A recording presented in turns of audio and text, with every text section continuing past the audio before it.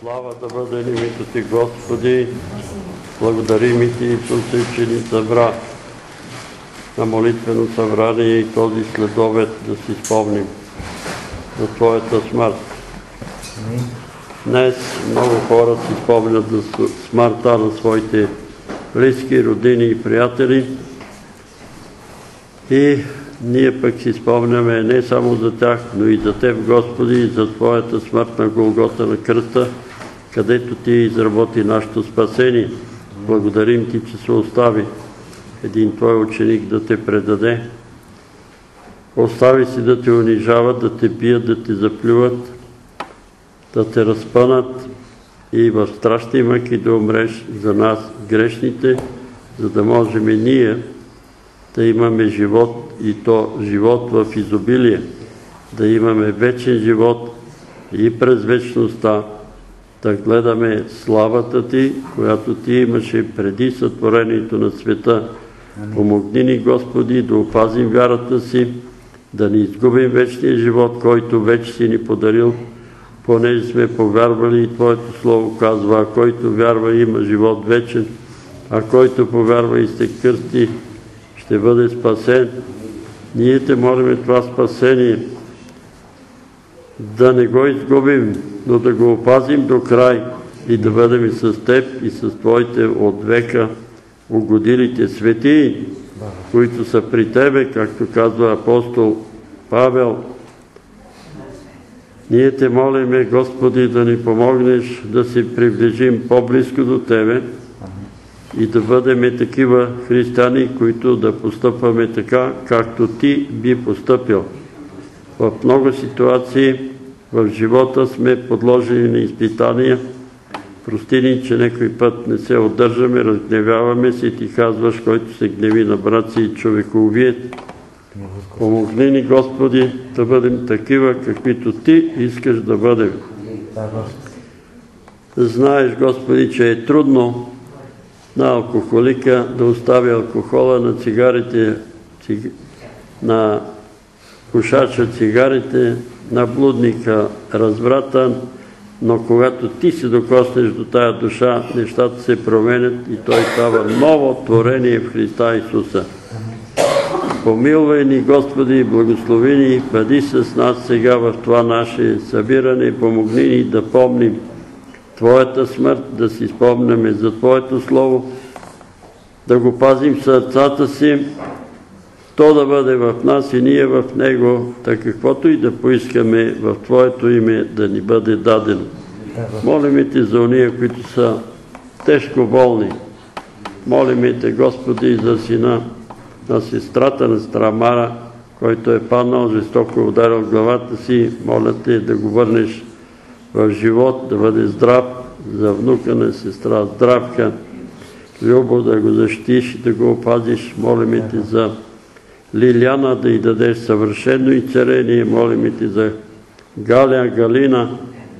Господи, помогни, защото се намира в тежко състояние и за други болни. Молим Те за сестра Розалия, за нейния съпруг Васил, който му предстои тежка операция. Ти си мощен и силен да го защитиш, благослови лекарите да извършат операцията, но най-вече ти го изцери и ти извърши тази операция, за да се върне в семейството. Благослови ги с Христина. Господи, помилвай ги. Молим те, благослови всеки един от нас, помилвай ни, каквото ти съгрешихме с думи, мисли и дела, простини, за да бъдем простени и спасени и ще бъдем спасени и ние ще ти принесем жертва на хвала. Слава, чест и поклон на името Ти, Свята Тройце. Амин.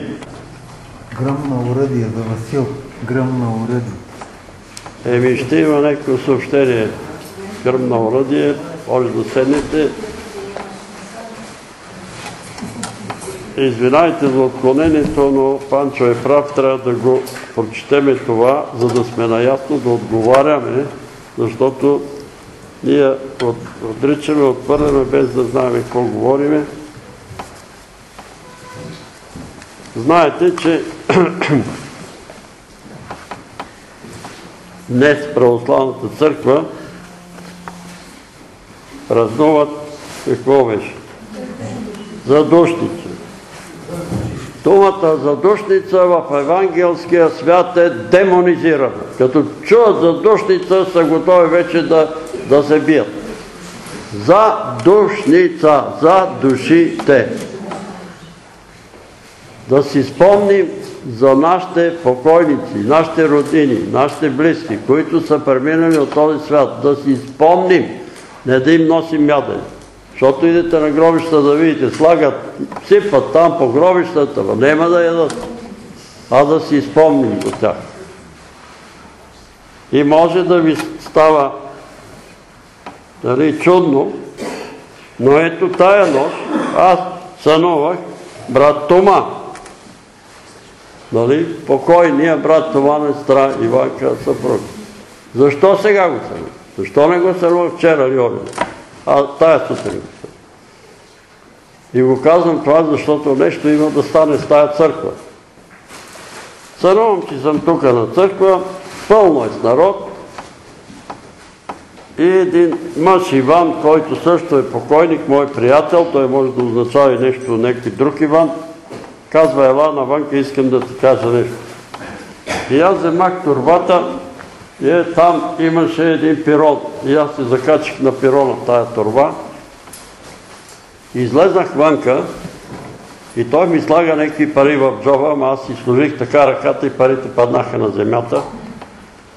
Той обаче пак ги взема и отвори ми той на служи тия пари, викам, кой ми дава 40 лева.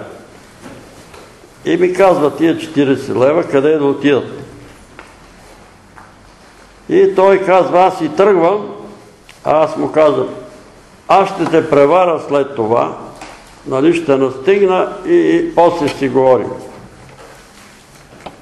И се връщам обратно. И като се върнах тук, салона е празен. Нема и столове, нема столове. Обаче по, земята е буклуци, най-различни буклуци. И турбата няма и чувам, че се говори нещо вънка и излизам брат Тома на вратата. Викам, абе брат Тома, нека ми е замал турбата тук. Вика, турбата ти ще се намери. Е сега. И отида до тех и ми носи и ми донесе една баница. Вита баница. Вика, заповядай. И аз му казвам, а изведнъж и моите ръце е вита баница. Също баница. Добре, благодаря, брат Тома, а ти заповядай моята баница. А, не може, аз ти давам. Моята ти ми даваш, твоята и какво нищо и половина. И защо ми даваш моята баница? Вика, за да вашата награда да бъде по... нашата тук награда да бъде по-голема от моята. Ама викам, няма значение, бе, брат Тома, ние не се бориме за награди.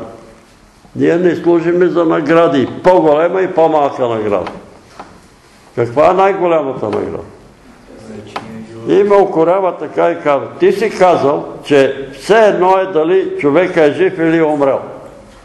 А, викам такова нещо, аз не съм, не помня да съм казал. Не е все едно. Не е все едно дали човек е жив или умрел. Но си спомням, че много пъти аз, когато съм ме заплашвали, съм казвал. Живея ли умирам ли, Господен съм, да бъде името Господне благословено. Това съм го казал много пъти. Живея ли, умирам ли, Господен съм, да бъде името Господне благословено. Това съм казал. Но не съм казал дали хората са живи и умрели все едно и също. Не е все едно и също. Не е все едно и също. Защото под умрели разбираме едно, а по преминали от, от тоя в онзи свят друго. Защото ония, които са умрели в Христа Исуса, са живи, а ония, които са умрели без Исус, са умрели. Това е разлика. Това е разлика. И защо точно на тая нощ да ми се да сънувам тия хора? Сънувам, че си отивам на нашата улица, дето съм живел, там те всички са измрели. Какво трябва аз да направя? И казвам, Господи, всички тия човеци, Иван, Стоян, Любчо, Добра, тия, които ги видех в съня си, ако нещо са съгрешили против мене, от сърце им прощавам. От сърце им прощавам. Но не мога да им проста, ако са съгрешили против брат Христо или против брат Димитър. Тогава те трябва да им простат. И затова разберете, че това хората, като кажат Бог да го прости, като че ли е някаква клетва. В евангелисти думата Бог да го прости е равна на клетва. Умира там един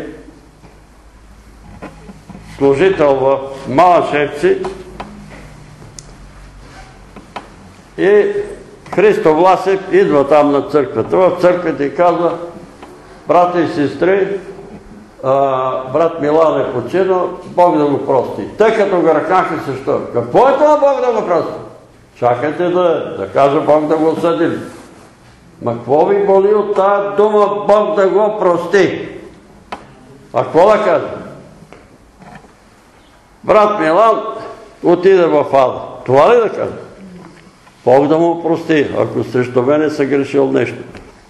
Това Бог да го прости в обикновените прости хора, селените, когато чуват името на починал, казват Бог да го прости. Знаете ли какво означава? Че тия хора имат страх от Бог. В тех има страхопочитание, има страх от Бог. А ние не знаем какво говорим. Извинайте, че се отклонявам така малко. Сега, през седмицата бехме в Димитроград и разбрахме някакви неща, че пастири, а и свещеници забраняват на някои хора да участват в Господната вечера. Знаете какво правите? Какво каза Исус? Пиете от нея половината? Всички. Едни от пастирите са се изхитрили и не дават да участват хора, които не са си дали десятъка. Други обаче са по-хитри. Те дават формуляри на пасомите да попълнат формуляри с 4 точки. Първата точка – трите имена. Втора точка – къде живееш. Трета точка – къде работиш. Четвъртата точка е размера на пенсията и заплатата. Аз съм сигурен, че първите три точки изобщо не ги интересуват. А ги интересува четвъртата точка. Интересува ги хората четвъртата точка. Не може. Нямат право. Какво е това? Така ли Исус постъпва? Какво щеше да каже Исус за тия хора? Какво щеше да им каже? Горко им. Горко им. Имах едно едно съновидение и видях някои пастири, които беха долу от земята на 10 метра пред една грабанна пропаст. Един грамаден ангел около 3 метра ги посочи и каза, а те, той каза Горкой, си мислят, че са намерили дебелата сянка. А те си мислят, че са намерили дебелата сянка.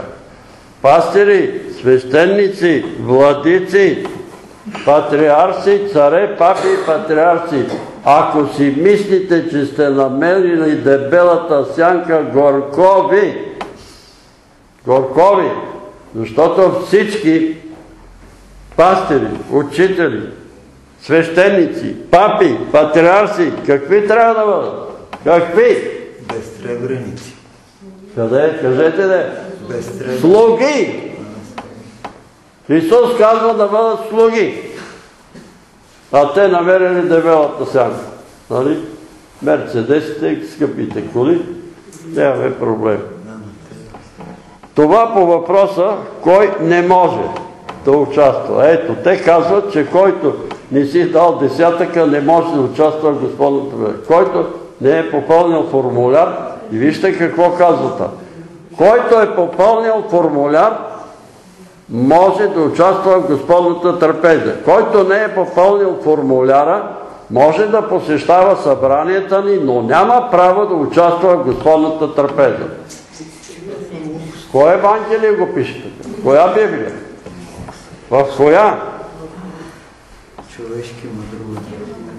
И вие знаете, и тук идваха едни хора, които отишли в Божия църква, говорите ли езици, не говориме, няма право да участва. Отидат в Баптистска църква, говорите ли езици, не говориме, нямате право да участвате. Нямате право да участвате. Разбрахте ли какво става? Отклоняваме се, но трябва да говорим истината. Защо? Защото истината ще не прави свободно. Няма да станем роби на, на човеци, които те искат. Така да стане, че те искат. Ще загубим няколко минути, но е добре това да го прочетем. Хелоин, за да сме наясно. На английски Хелоин е маскарад, който се превежда се провежда на 31 октомври най-вече в англоговорящите страни, като Великобритания, Канада, Ирландия и САЩ. Началото води от келтският езически ритуал Саоин, Саталин и един ден преди честването на католическия ден на Вси свети, фактически на първи е Вси свети. По традиция децата носят страшни костюми, тиквени фенери и обикалят съседите, като искат бомбони и сладкиши и предупреждават, че ако не получат, такива ще им изиграят номер. Древните келти посрещали своята нова година Сауин в края на октомври. Те живеели с вярването, че в нощта срещу нея починалите през изминалите години навестяват земята в търсене на живи тела, в които да се вселят. За да се предпазят, келтите гасили огъня в огнищата и се опитвали да изглеждат колкото е може по-страшно облечени с животински кожи и животински глави. Виждате ли откъде е дошло какво беше в България? Не само. Кухарите. Биловски глави, мечи глави, ето откъде, от празника на Сатана. И не вик, абе няма проблеми, това е народна традиция. Каква традиция? Сатанинска традиция. С което се надяват да изплашат виденията. Събирали се около огньове,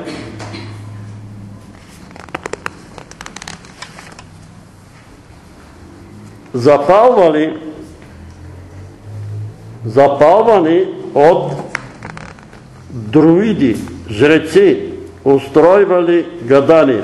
Езически, 100% физически празник. Подобен на този древни езически ритуал на кукерството, където присъстват същите атрибути, маски с рога, зловещи изражения, животински кожи и други, като децата като целта е гоненето на злото. Християните вярват, че душите след смъртта не се връщат на земята. През 853 година след Рождество Христово, папа Григорий IV в опит да замени съществуващия езически ритуал, утвърден, утвърдил 1 ноември като ден на пси свети. Ден за прослава на всички християнски свети и мъченици. След коренното население все още съществували езически вярвания, антихристските настроения и голяма част от местните хора продължавали да отбелязват деня по старо. В днешно време този празник сякаш се свързва по-скоро с забавлението да се преобразяваш в страхотни демони, дяволи, чудовища, вампири, таласъми, прочее и да Плашиш хората. Някои използват празника, за да се наслаждават на филми и книги на, тематики, на подобна тематика. Факт е, че хората от край време се увличат в четене на криминални романи и гледане на криминални филми, което ги кара да умаломожават силата на злото, въздействието му и въздействието му върху тях и околните. Но както има такива, които си забавляват подобни неща, така има и хора, които изпитват страх и дори ужас, а също и хора, които действително са преживели подобни злини на свой гръб. Злобата, водеща до зависи и негативно въздействие върху хората, омагьосването, привиденията, кошмарите, срещи с демони, обсеване от зли духове, всичко това не са само измислици, а за съжаление част от самата реалност. На онези, които са станали жертва на подобни влияния, Хелоин изобщо не им е забавен. И има защо. Там, където има скръп, болка, загуба на успех, безплодие, смърт, там има осъзнаване на реалното съществуване на злото. По тази причина възниква и опасността наистина да практикуваме празника, за да се предпазим от злите сили. Но ако обличаме страшни костюми, изрисуваме се, извършваме ритуали, носим амулети дори ако само се надсмиваме злото, това няма как да ни защити от него. Причината не се корени в китайската изработка на нещата, които използваме, а по-скоро в естеството на демоничните сили. Те не са от плът, която може да бъде наранена или убита от човек, а камо ли изплашена от текстилни и пластмасови изображения.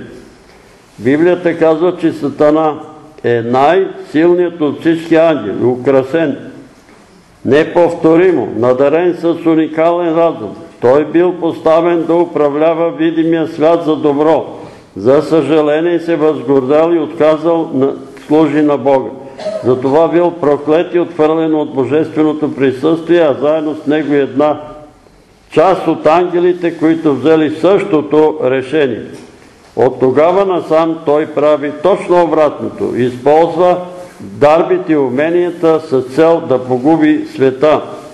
Когато се маскираме за зло същество, ние даме вид на онова, от което се страхуваме.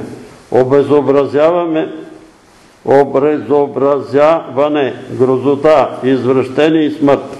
Падналите ангели, наречени демони, са духове, които са навъртат около нас, за да ни примамят именно към такива дела, грозни, извратени, богопротивни и дори водещи до смърт. Библията нарича тези дела грехове, а Бог дава своите заповеди да ни покаже ясно и точно кои са те, а именно всички престъпления на заръквите му. Когато си имаме работа с духове, трябва да знаем, че те ни правят привлекателни за злите сили. Може даже да станем обсебени от тях. Силата на един ангел е достатъчна да унищожи. Е достатъчна да унищожи. Свидетелството за това историята за нападението над град Ярусалим при царуването на цар Езекия – четвърта глава на царете или втора глава на Самуил, глава 19, втора книга на Самуил, глава 19 пише, че през нощта ангел Господен излезе и изби 185 000 души от асирийския стан. И като станаха на сутринта, ето всички те бяха мъртви трупове. Важно е да знаем, че с духовните неща шега не бива, Мощта им е истинска. Ако не сме вкусили от силата на дявола, то е защото явно сме били пазени от Бога до сега. Да плашим другите, това не само е неприятно, но и опасно за тях. Не са малко хората, които са започнали да заекват и да припадат при силен уплах и дори има и случай на побягнали и блъснати от превозно средство. И не на последно място да пазим децата. Те са най-уязвими за всякакви влияния, понеже не осъзнават истината. Кое е добро и кое е зло, кое е истина и кое е лъжа. Амин. Не си играйте с огън. Сега да повега и какво ще кажа?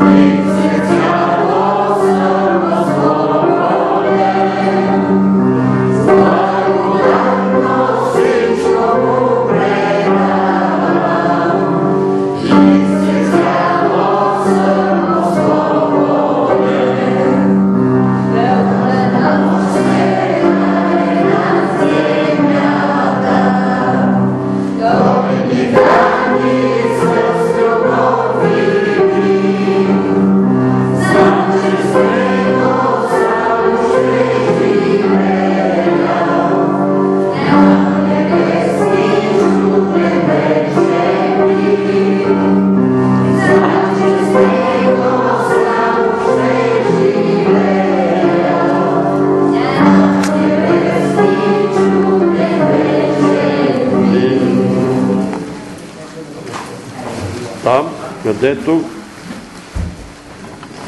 око не е видяло, ухо не е чуло, на ум на човека не е дохождало. Дай Боже да устоим до край. Песен 677. Тамо не иде на Голгота. Добре е да се изправим на тая песен.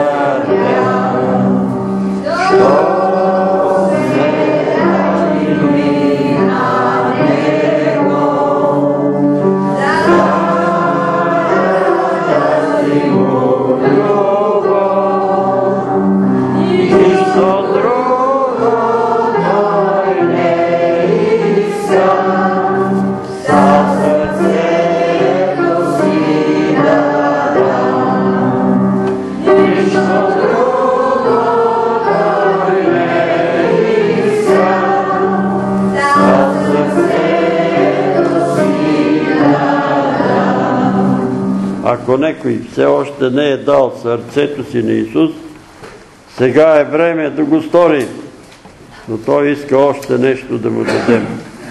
Сега, когато си спомняме за Неговата смърт, да му дадем греховете си. Да му кажем, ето, това са греших, Господи. Прости ми, Господи. Казвам ви, от опит бехме провинцията. Когато един човек изповяда греховете си и каже, това са грехи, това, това, това, напада страхотно помазание и присъствие и получават и царе. Когато крие греха си, няма и царе. Защо? Защото Бог пази Слово. Ако някой изповяда греховете си и ги остави, ще бъде помил. Който крие престъпленията си, няма да бъде помил. Това е Божие Слово. Няма да има успех. Затова голяма радост ни нападна, когато там някои хора изповядаха грехове. Не може да си представите какво помазание. Това са греших, това и това и това. И помазанието пристига. Затова, като се молиме после, не крийте греховете си, и това са греши. Господи, и това, ето, Той иска да ни вземе греховете. Панчо, докъде стигнах? Първа глава на Лука, 26. 26. И във шестия месец ангел Гавраил бе изпратен от Бога в Галилейския град, наречен Назарет, при една девица, сгодена за мъж на име Йосиф от Давидовия дом. А името на девицата бе Мария. И като дойде ангелът при нея рече, Здравей, благодатна, Господ е с тебе. Благословена си ти между жените. А тя много се смути от думите му и в недоумение беше какъв ли ще бъде този поздрав. И ангелът ти каза, не бой се, Марио, защото си придобила Божието благоволение. И ето ще заченеш в отровата си и ще родиш син, когато ще наречеш Исус. Той ще бъде велик и ще се нарече син на Всевишния. И Господ Бог ще му даде престола на баща му Давида. Ще царуват над Якововия дом до века и царството му не ще има край. А Мария каза на ангел, как ще бъде това, тъй като мъж не познава. И ангелът ти отговори и рече, Светия Дух ще дойде върху ти и силата на Всевишния ще те осени. Затова и святото, което ще се роди от тебе, ще се нарече Божий син. И ето твоята сродница Елисавета и тя в старините си заченала син. И това е шестия месец за нея, която е наречена неплодна, защото за Бога няма невъзможно нещо. И Мария рече, ето Господнята слугина, нека ми бъде според както си казал. И ангелът си отиде от нея. Амин. Така може да се Вие знаете, че ние караме наред. Това е благовещение, което се празнува в църквите. Ангелът дойде и каза на Мария, че е придобила Божието благоволение. И тя е благословена между всички жени. И избрана и благословена. Много обаче жени не са съгласни с тия думи на ангела и казват, и аз съм ги чувал, слушайте си, а, каква е тя? Тя е като една от нас. А други път, други пък правят конференции и на голямата конференция бяха наслагали на столовете на Благовест, на всеки стол. Ели Мария, Ели Исус. Ели Мария, Ели Исус. Какво искате? Да я отхвърлим? Да изтриеме тая глава от Евангелията, където ангела говори, че тя е придобила Божието благоволение. Да я махнеме от Библията, защото така им се иска на некои. Благословена си ти между жените. Радвай се, благодатна. Тя се чуди, какви са тия, какъв е този поздрав. Защо? Защото Бог е избра, за да се роди от нея Спасителя на човеците.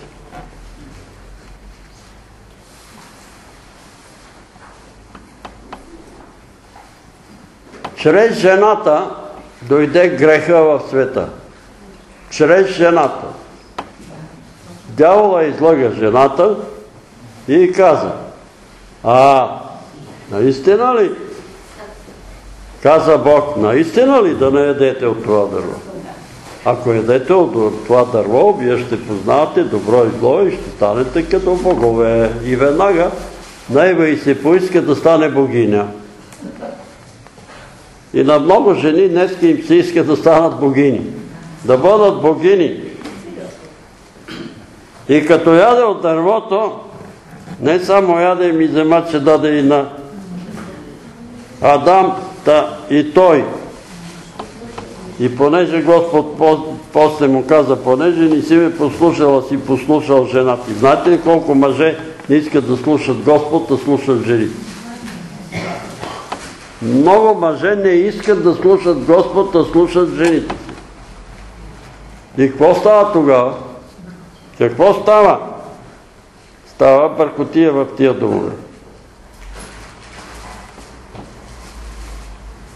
Казвал съм и това пример за един такъв случай. Има много такива случаи. Брат Иван Зарев го описва в неговата някаква книжка за, не знам, беше нещо за Святия Дух ли беше и за 50-ната, история на 50-ната, не мога да ви кажа, но една от негови брошури. Един много духовен младеж, който ревностно служи на Бога, обича Бога, служи на Бога, появява се една красавица в църквата, завърта се около него и той тръгва с нея и тя се прави на християнка, женат се, обаче тя му казва, виж ко, като те видях, веднага си казах, а, това момченце ще си го хвана. Много те харесва, но аз не вярвам в Бога. Аз не вярвам в никакъв Бог. Ти си ходи при твоите там брати и сестри, обаче ако искаш аз да бъда щастлива, ще трябва да идваш и на нашите събрания. На нашите събрания, където събираме невярващи хора и да участваш в нашите тържества. И той ходи в църква, ходи и при жена си. Ходи в църква, ходи и при компанията на жена си. И лека по лека се отдърпа от църквата. Но се разболява. Тогава се моли Господи, ако ме върне сега, знам какво да правя. И Господ го върши. И царява. Но след време отново започва да става приятел на света, забравил думите на апостол Яков. Който проче иска да става приятел на света, враг става на Бога. Запомнете тия думи. Тия думи са верни. И много хора са загинали и са погубили душите си, точно защото е точно това са направи. Точно това са направи. И той отново се разболява, отива там една група от църквата да го се молят за него, но той казва вече не се молете за мен. Това е все едно да се молите за дявол. Аз съм отстъпник, аз знам часа, когато Господ ме отхвърли, когато Святия Дух ме напусна. Аз знам, той е миг. Аз съм осъден. Вика жена си и казва, дай ми една чаша студена вода. Обръща се към нея и казва, защото това е последната чаша вода, която аз пия. След това ще бъда жаден за една капчица вода, но няма кой да ми даде. Обръща се към нея и казва, ти си виновна да попадна под вечно проклятие. И с тия думи умира. И с тия думи умира. Тук имаше една сестра Ана. Е там седеше. Помните ли? Тя имаше един син. Свидетелства, че е пушил по 10 коти цигари на ден. 10 коти цигари на ден и се е напивал редовно. Майка му ни покани. Лицето му беше подпухнало. Беше се разболял от цероза на черния дроб. И ние се молих. И Господ го и цери. Абе, тук нямаше ли едно? А, ето, фикна се. И той дойде и застана е тук, е снимам. Вече хубав, красив мъж. Благодари на Бога, че Бог го върнал от смърт в живот, че всички изследвания са добри, че той е съвършено здрав. И от време на време идваше тук на църква, е там отзад сядаше, при стара, ето е стара Маргарита, там некъде сядаше. Минаха години, може би десетина години, и изведнъж и майка му се разболя И дойде една сестра, тя няма сега, как се казва, и тя седеше до нея тук, не чува малко. Лили. Лили, Лили. Лили, ето като е. Казва, е починал. Какво е станало? Една много голема красавица се е завъртяла около това красиво, хубаво момче, което Господ го е изцерил от цероза на черния дроб, на което лекарите са дигнали ръце. Освободил го от цигарите. По 10 кутии цигари е пушал на ден. Освободил го от алкохола. И тази красавица лека по лека го води в нейните компании и отново започва да пали цигарата, защото тя пуши цигара и иска и той да й прави компания. Започва да се чука с чашата с тая красавица, Болестта се връща за много късо време го унищожава. Разбрахте ли ми, мъже, които слушате жените си, които ви водат да станете приятели на този свят? Които ви водат да станете приятели на този свят. Слушайте ония жени, които ви карат да отидете на църква, които ви карат да се молите, които ви карат да седнете да прочетете нещо от Божието Слово. Тия жени слушайте, уния, които ви дърпат, дай да отидеме на театър, дай да отидеме на цирк, дай да отидеме не знам къде. Не ги слушайте. Слушайте Господ. Не дайте да дезертирате като Адам и така проклятието падна върху целия свят. Греха дойде чрез жената. Но ние тук виждаме, че спасението на човека идва чрез жената. И тази жена се казва Мария. Мариам. Тя се казва Мария. Тази жена, която евангелистите не я зачитат, и понеже брат Пламен ни каза, че в там в тая църква се пропадал същото като тук, аз му казвам, че това не е вярно. Защото никога тук не сме написали на столовете или Мария или Исус. Или Мария или Исус. Това е отстъпление и вероотстъпничество. Оне, който не почита майката, не може да ме обиди, че почита сина. Оне, който почита сина, истински обича и почита сина, не може да не почита и родителите. Просто не може. Аз имах приятели от деца. Когато дойдеха у нас, баща ми веднага слагаше трапезите и ги прегръщаше и ги обичаше като негови синове. И аз съм забелязал любовта на баща ми към моите приятели. Идва тук къде ходиш, Богдан идва тук да те търси къде ходиш, Иван идва, той идва. Не може любовта да се реже на парчета. Едно парче за Исус, другото за Мария.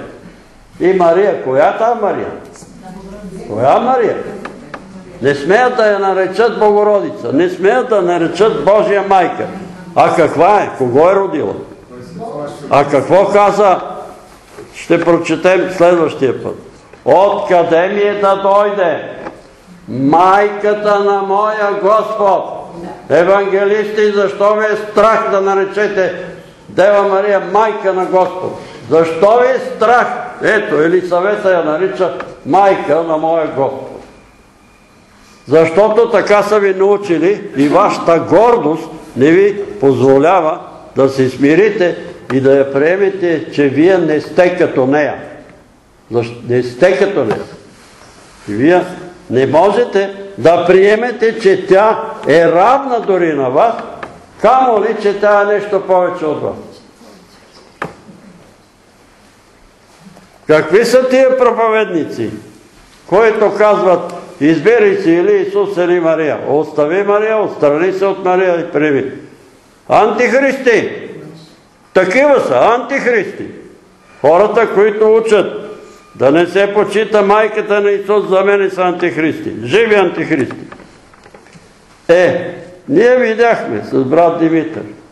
Отидахме, се разболял драк. Тук дойде една сестра здравка, тя не идваше, тук му от време на време идваше, дойде и като се молехме за него, тя стана и казва. Момента чух глас от Святия Дух ли е, не е ли, не знам.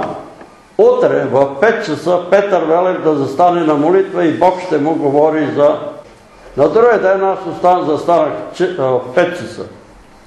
Сутринта на молитва и когато започнах да се моля, чух да ми говори Господ това. Три-четири пъти в живота ми съм чул как ето аз съм на колене и над главата ми говори властен мъжки глас. И казва, грехът му е като грехът на Георги Бакалов. Присмивал се, подигравал се и е хулил богослуженията в православната църква. И той казва, вярно, обаче, като дойдох и се молихме за него, тогава същата сестра стана и каза, така говори Святия Дух. Петър Велев да вземе двама свидетели, за да се потвърди всяка дума пред двама свидетели и да каже какво говори Господ.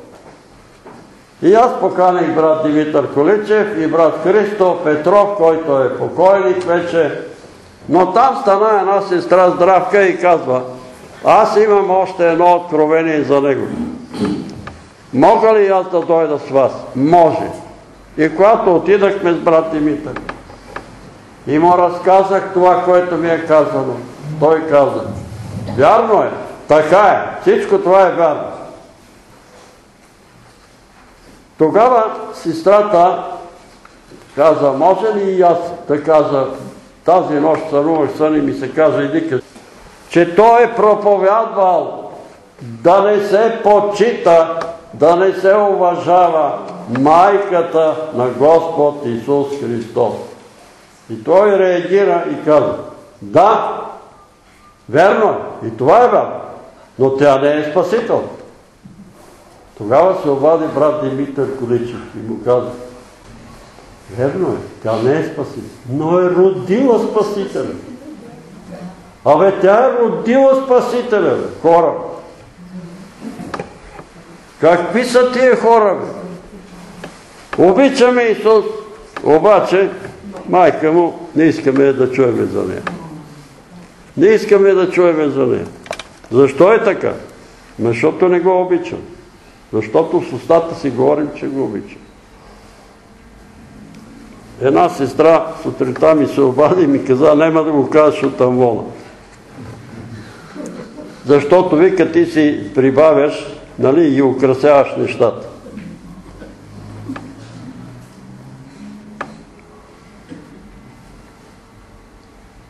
Само това е чула и ме пита дали е от дявола това. Викам, не може да бъде от дявола. Постъпвай така, както Христос постъпва. Ако искаш да имаш успех в живота, постъпай така, както Христос. И ние казваме сега, Господи, много те обичам. Ако ме обичаш, какво трябва да направиш? Ами да правиш това, което Той казва. Скъпи, аз много те обичам. Добре, скъпа, ама. Говори ми една тенчера боб. О, бобче ти вас. Абе, аз си гледа работа. И нали го обичаш? Нали го обичаш? Ако го обичаш, ще се стараеш да изпълниш нейното желание. Ако я обичаш, ще се стараеш и то не с тежест, а с радост ще изпълниш желание. И ако ние обичаме Исус, с радост ще изпълняваме Неговите заповеди. С радост ще се радваме. Ще се радваме. И кога го обичаме, Възлюби Господа своя Бог. Кога обичаме Бога? Когато пазим Неговите заповеди. Ако ме любите, ще пазите моите заповеди. Кога обичаме Исус? Когато пазиме Неговите заповеди. А когато не ги пазиме, как може да говорим, че обичаме? Ето баща ми ми казва, примерно утре да се прибереш в 8 часа. Аз се приберам в 12 часа. Той казва, бе, казах ли ти да се прибереш в 8 часа?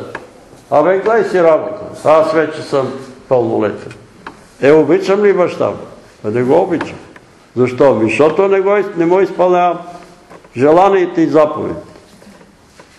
Аз съм ви казал, че когато баща ми е казал нещо и аз не съм го послушал, винаги съм съжалял. Винаги. Казал и не прави това. Не ходи там. Това не прави. Аз не го послушах, след това съжалявам. Също той с Господ. Защото Господ влаза неговите думи в устата на родителите, в устата на майката, в устата на бащата. И когато ние не слушаме, какво става? Ами губиме. Ставаме богопротивници. А вижте сега майката на Исус какво отговори. Вярно е. Как ще стане това? Аз мъж не познавам. За Бога няма нищо невъзможно. Святия Дух ще те осени и ще родиш и така и така. И така какво отговори? А, не съм съгласна. Избери си друга жена. Така ли каза?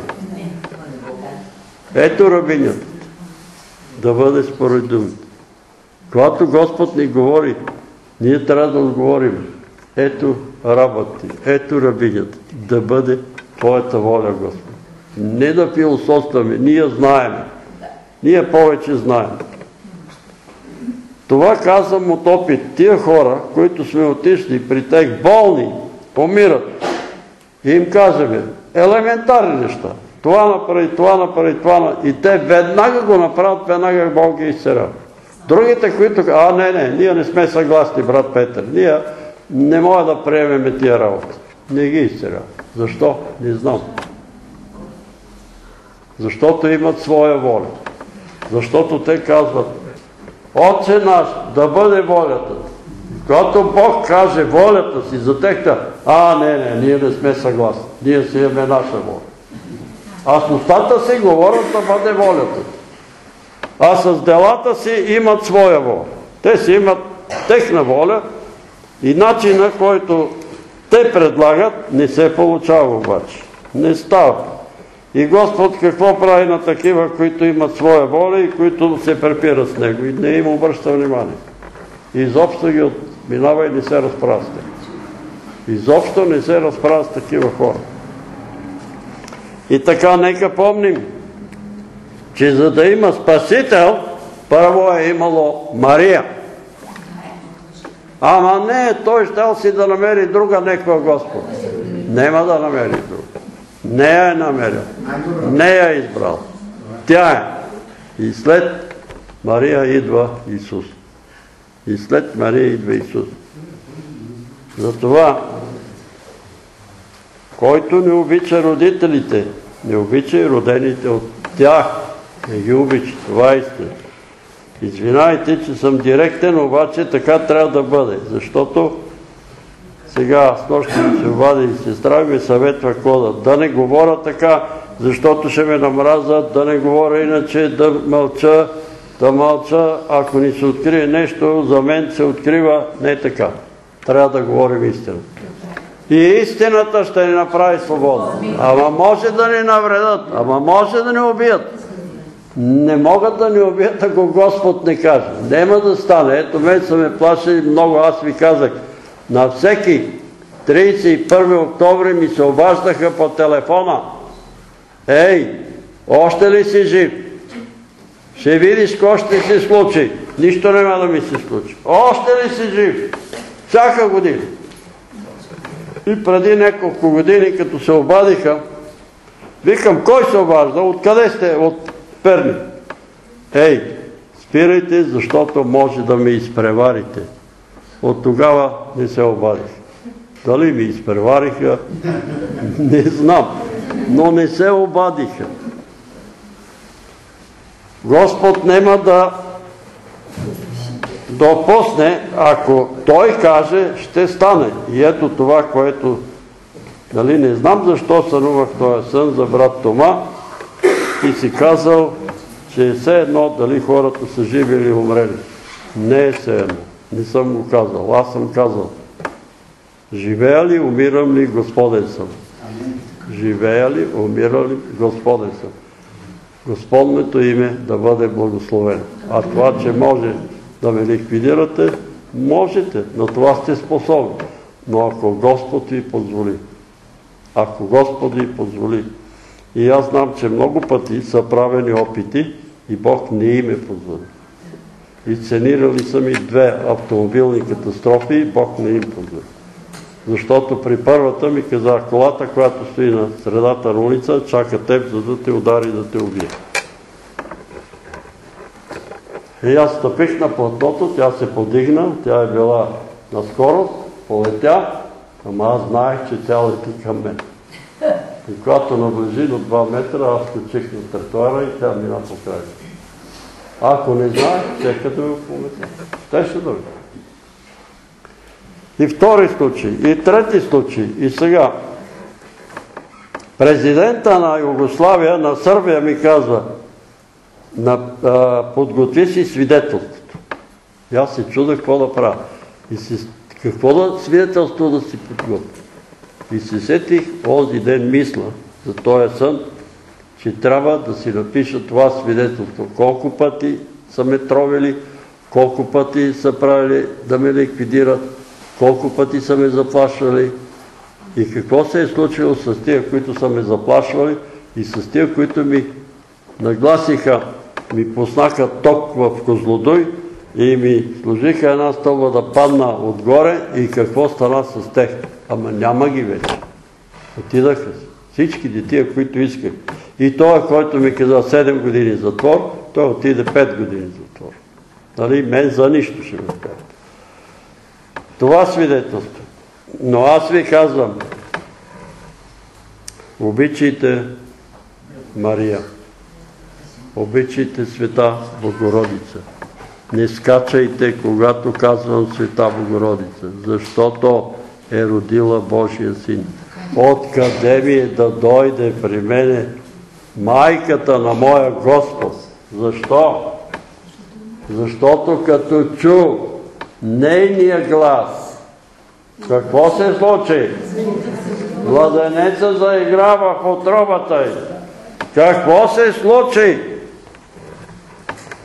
Дай Боже да чуете нейния глас. Да не чуете гласа на некой друг. И така ние ще я почитаме и ще я уважаваме дължимото уважение и почит. Съгласни сме. Тя не е спасителка, спасител е Исус Христос. Тя не ни спасява. Но сме задължени да обичаме и да я почитаме, защото тя е родила Спасителя. И всичките тия приказки, ние следващия път ще говорим за това, което тя казва. А ето, от сега ще ме облажават всичките родове. Ние от техните. От тия, което е облажава. Или от които я хули. Вие викаме откъде на къде. Откъде на къде. И говориме работи, които не знаеме и които не разбираме и после се чудиме защо нямаме благословение. Защо нямаме благословение?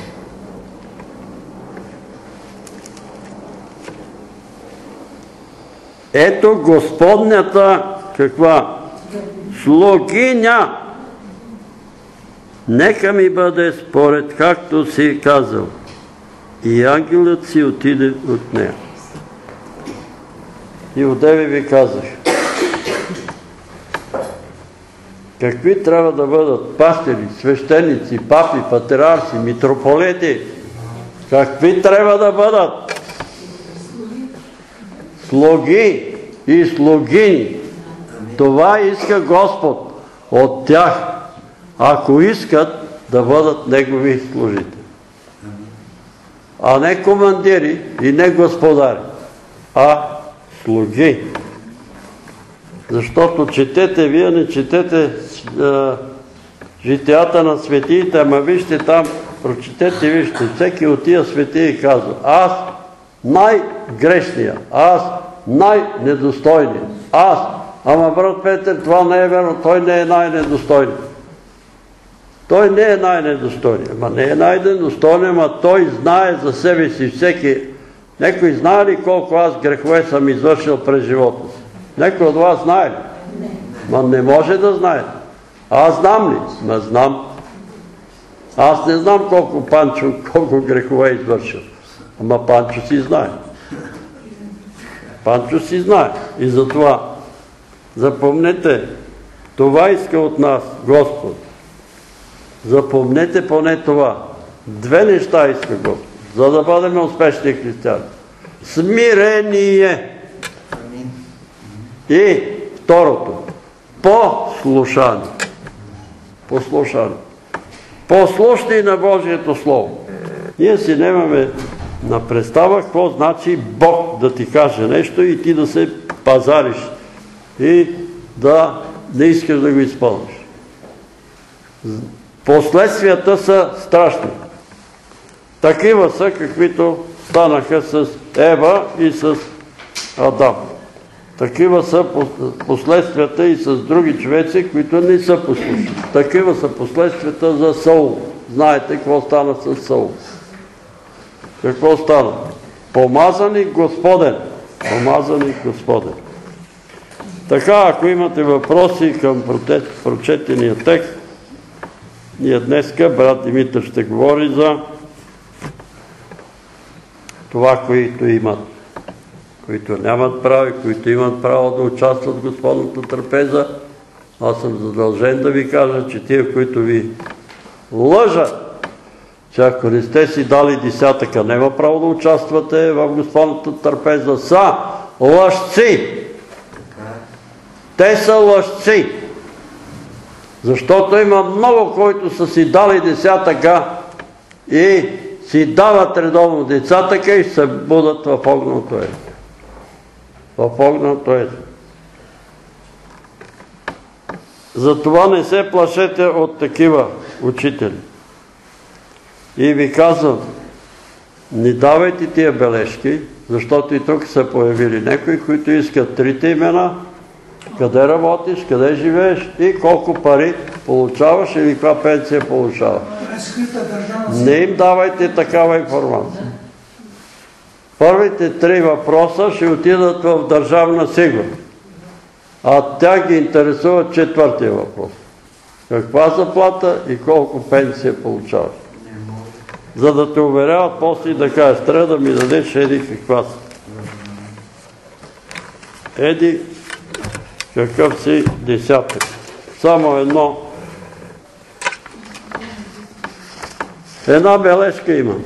Обръщам се към Теб, Господи, който си ни развързал от греховете ни чрез кръвта си и който си ни направил царство и свещеници на своя Бог и Отец. На Него да бъде слава и господство в вечни векове. И смирено те моля за цветята, които си ми подарил и посадил в градината. Смили се за тях и ми посочи към себе си. Стани техен пастор. Моля те за милост.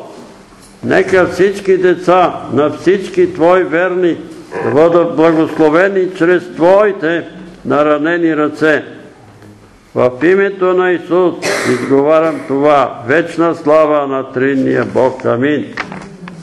И си казва името, но е молитва към Бога за всички цветя. За съжаление има и търни и бодили. Между другото, това, което сънувах, този Иван, ми показа един трън. Тоест, едни шипове такива и показа ми едно такова малко количество, аз ги знам така, съм ги виждал тия тръни. Това е много лечебен трън. Лекува много боли. Обаче, като си забие, страшно боли. Но не мога да ви кажа сега да почнете да го пиете. Сънува го, има някакво значение, аз се моля за този трън, нито знам как се казва. Глоб, глоб, глоб. Глока знам кой е глока. Това е трън, вър... а, той на земята расте и е с едни бели чипове, като таралеж.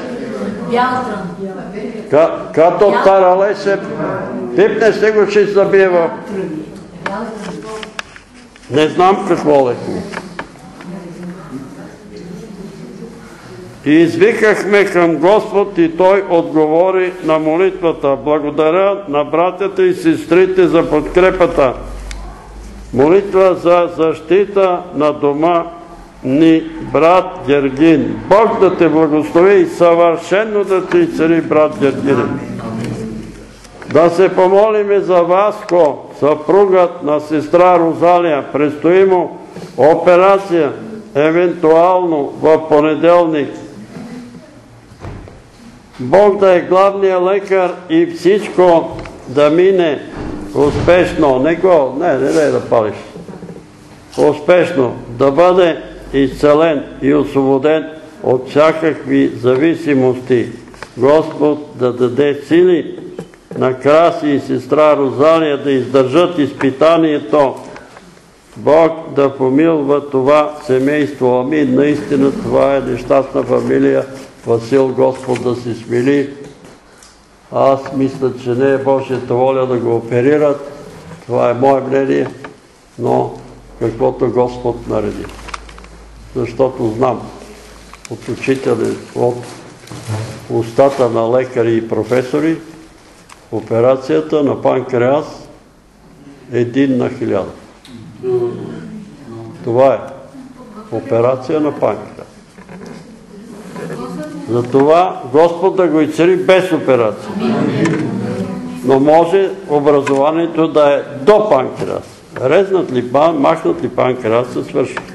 Жлъчката може да я отрежат. Не е страшно.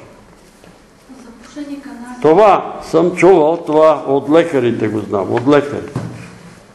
Добре, има ли въпроси към прочетеното слово или въобще някакви въпроси да се повдигат по въпроса за това, което говорим, за това, което проповядваме?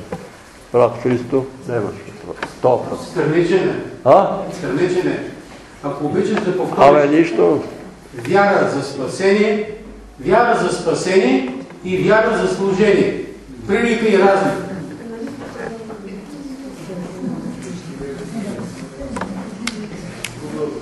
Вяра за спасение, който повярва в Сина, има живот вечен. Край.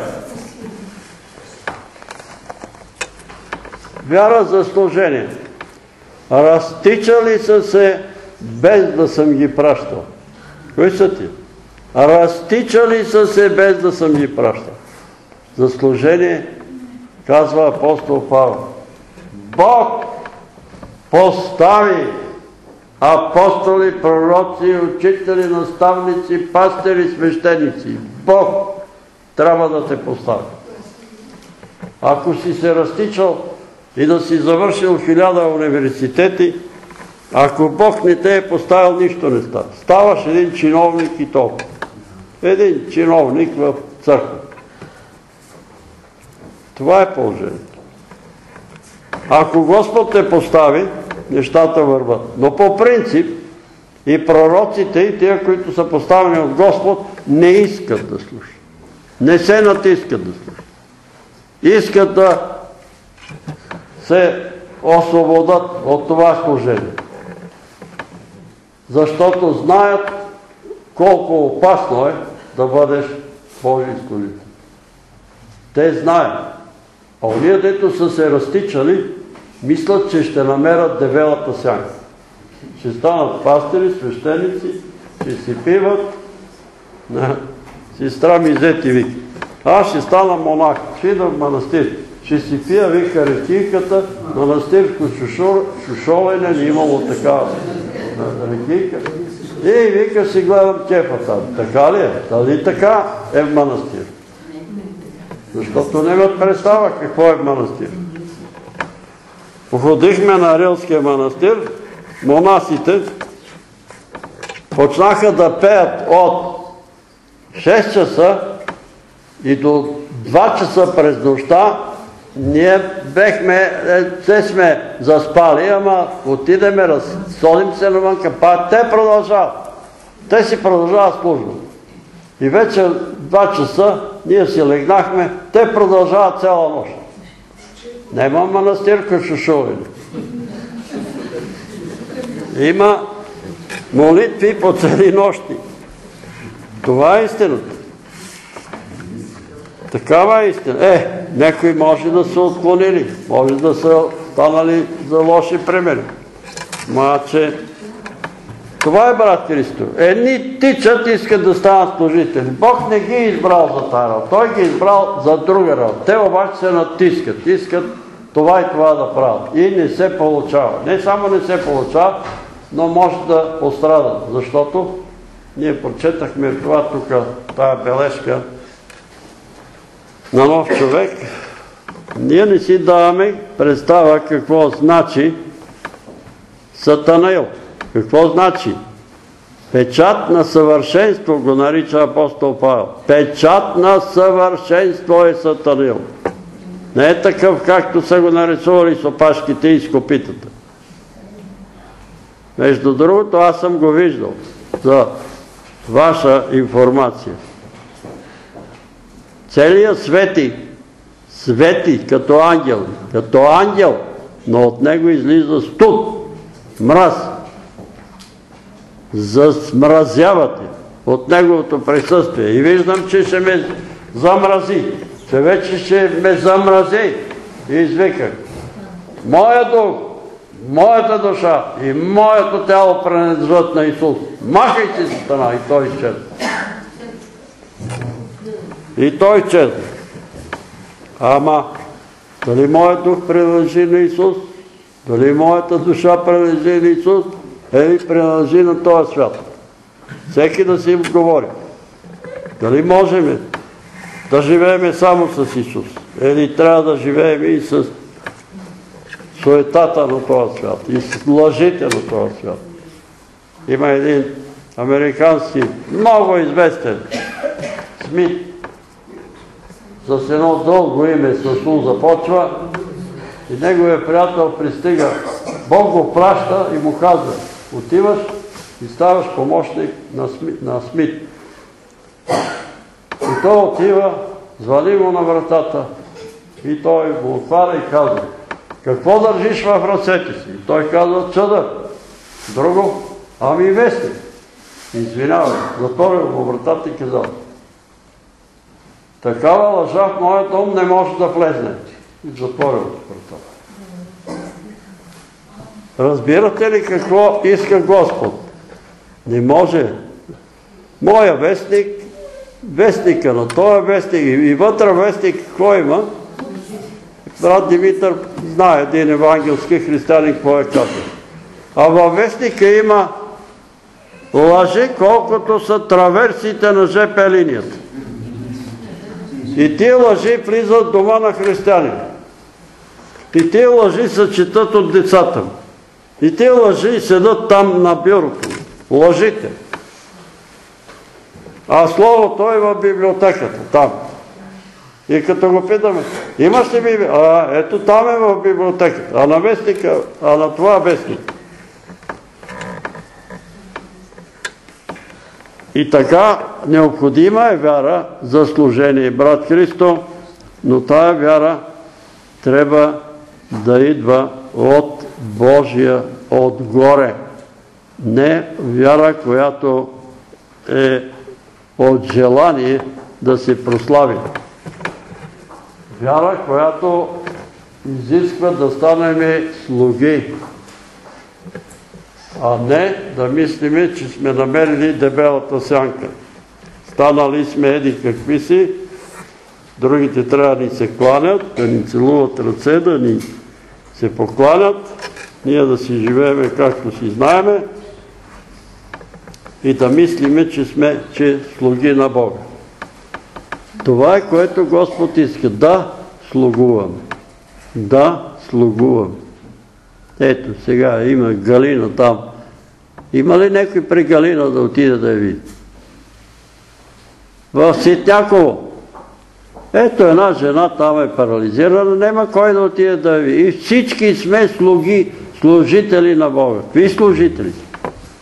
А тия като нея чакат някой да дойде, да ги посети, да ги види, да се моли, да й помогне, да й оправи къщата, тя е парализирана. Ели уния момичета там, квартал Есми, две момичета има, болни от шизофрения, майката издиша, вече не мога да се изправи. Или сестра Розалия с нейната Кристина. Или има други. Там не ни е удобно там да отидем, защото нали, трябва нещо да направим, да послужим.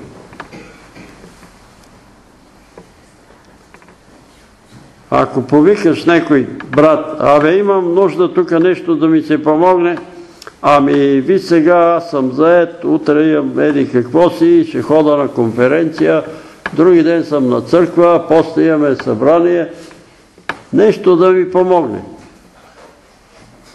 Намира си оправдание човека и казва, аз съм Божий служител. Какъв служител си? Ако не послужиш на сестрата, ако не послужиш на брата, ако не послужиш на немощния, на болния, на страдащия, какъв служител? Какъв служител си? Искаш да застанеш на вола, да гърмиш, целият свят да те гледа и да ти ръкопляска. Нема такива работи. При Бога такива служители са намерили дебелата сянка и пътуват директно за гената огън. Ония, които не искат да погледнат сиромас, не искат да погледнат болни. Защото е неприятно да отидеш при болен човек. Нали? А трябва. А Исус казва. В затвора бях. Колко от вас са ходили да посетят затворници?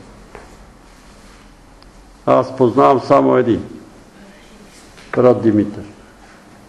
Друг има ли? Там една ръка се вдига, да. Ходила е да посети затвора. А Исус казва, в затвора бех и никой не ме посети. Болницата бех и никой не ме посети. Аз бех болница на два пъти и никой не ме посети.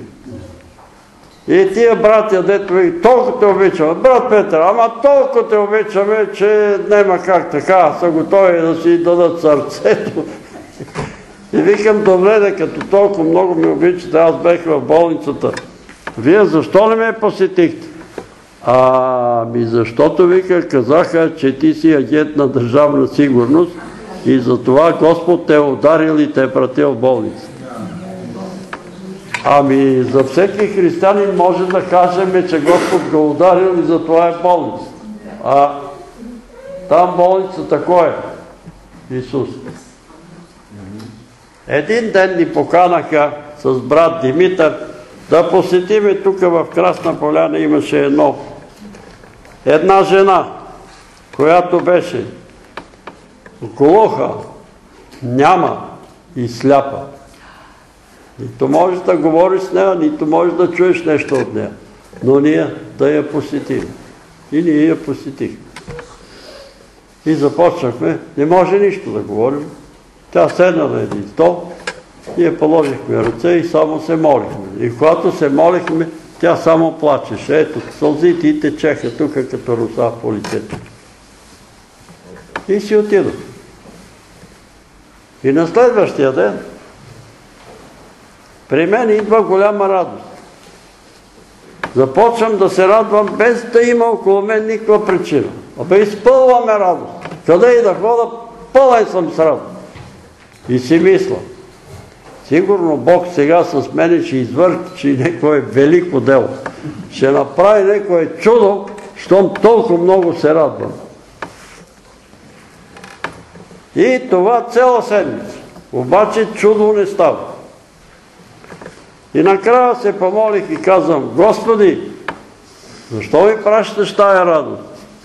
Откъде идва тая радост? Защо? И чувам един нежен глас. Защото бех глух, сляп и нем и ти ме посети. Разбрахте ли какво е служението на християни? Там. Тогава ще дойде радостта. Тогава глух, сляп и ням. Сигурен съм, че брат Димитър си спомня. Там е служението на това, който иска да служи.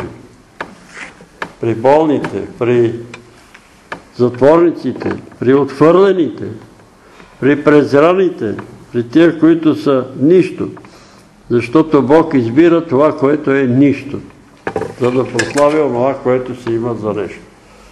И така, че първото условие, брат Христо, е да станеш Божий служител, да проумееш, че си нищо. Като проумееш, че си нищо, тогава Господ те избира.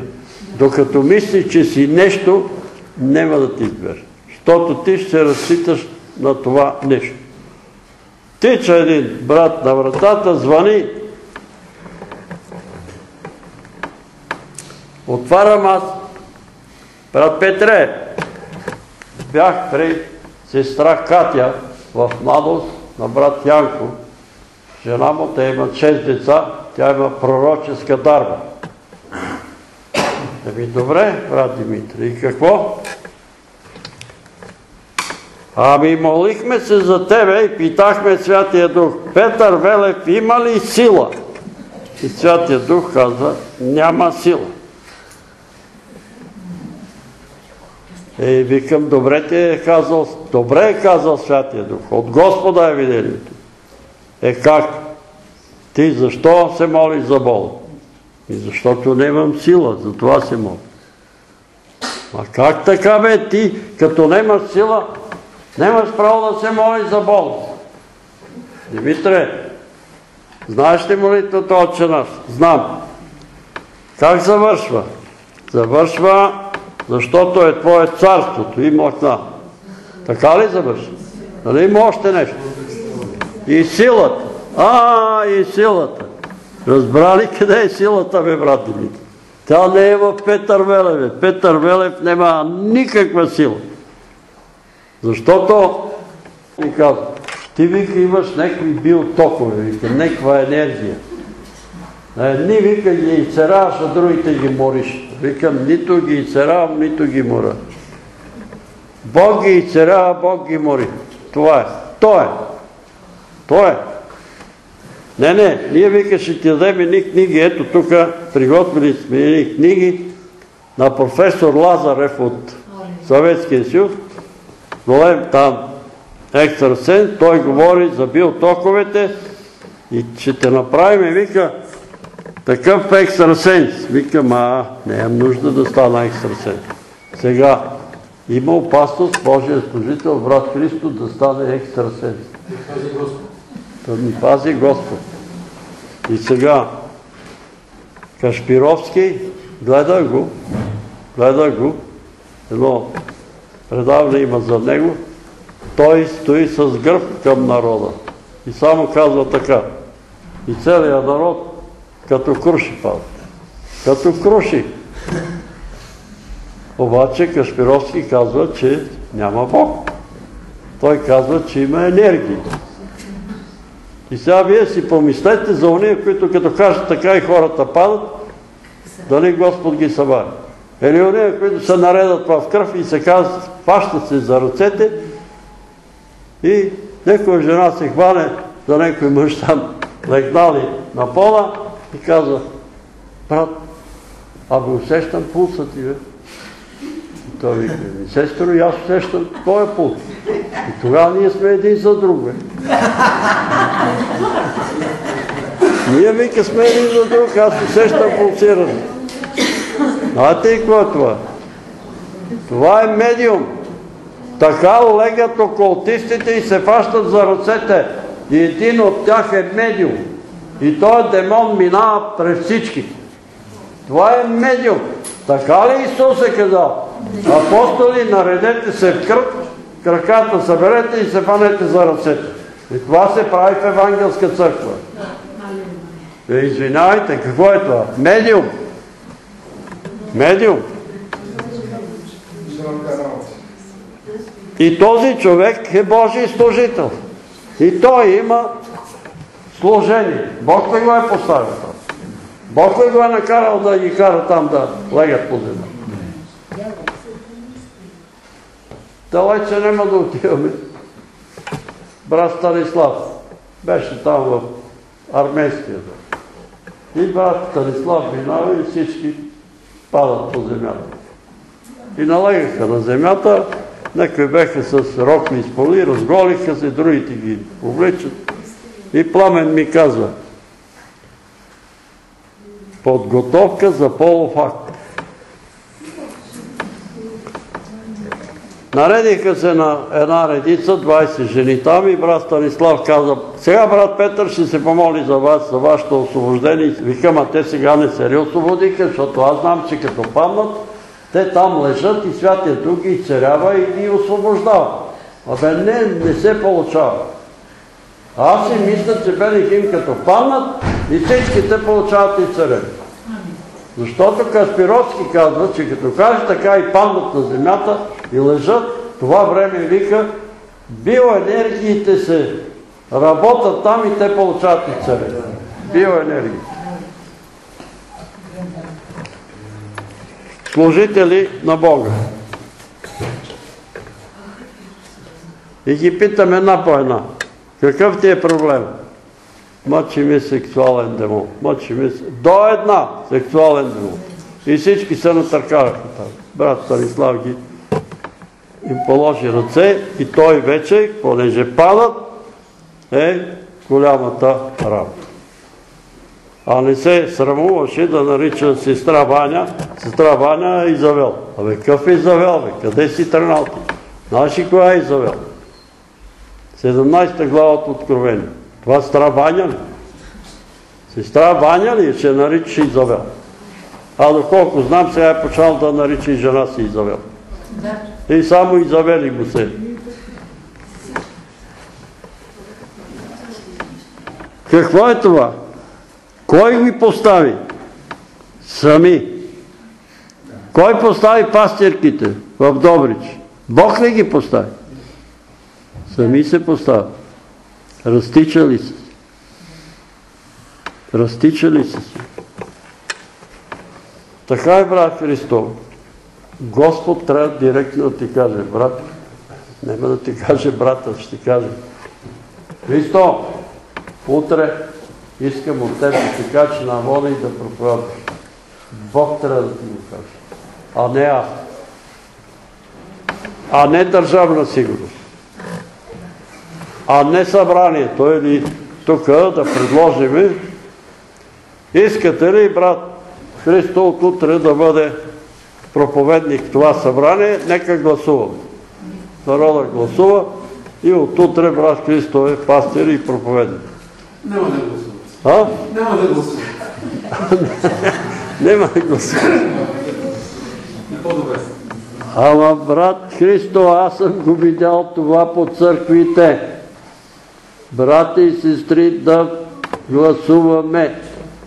Ето предлагаме нашия избор. Да гласуваме този човек да ви бъде пастир. Скача един от братите. Какъв пастир ще ни бъде? Бе? Той е агент на държавна сигурност. И пастир, добре, добре, друг ще ви изберем. Друг. Ама другия е същия. Другия е същия. Е това ви казвам пред Бога, ви говоря, го чух в една евангелска църква. Как той ще ни бъде пастир, бе? Той е агент на държава сигурност. Добре, добре, щом не искате, това е друг. Предлагат друг, гласуват, 60 го приемат, 40 го отвърнат. Сега, Бог ли е поставил този пастир в англиканска църква, и беше, или методистка, не помна, но имаше информация за него. Той е човек заявява на Авона, че е хомосексуалист.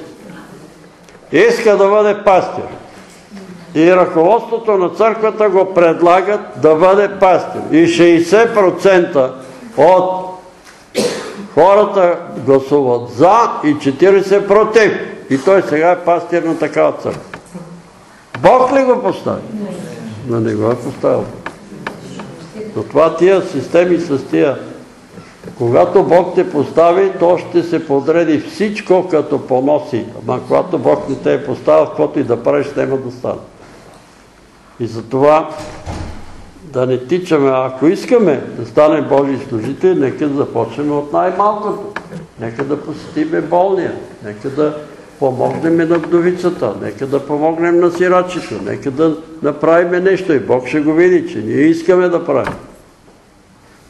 А не да ставаме царе, папи и патриарци. Ама ние сме царе и свещеници. Добре, ще бъдете в небесното царство.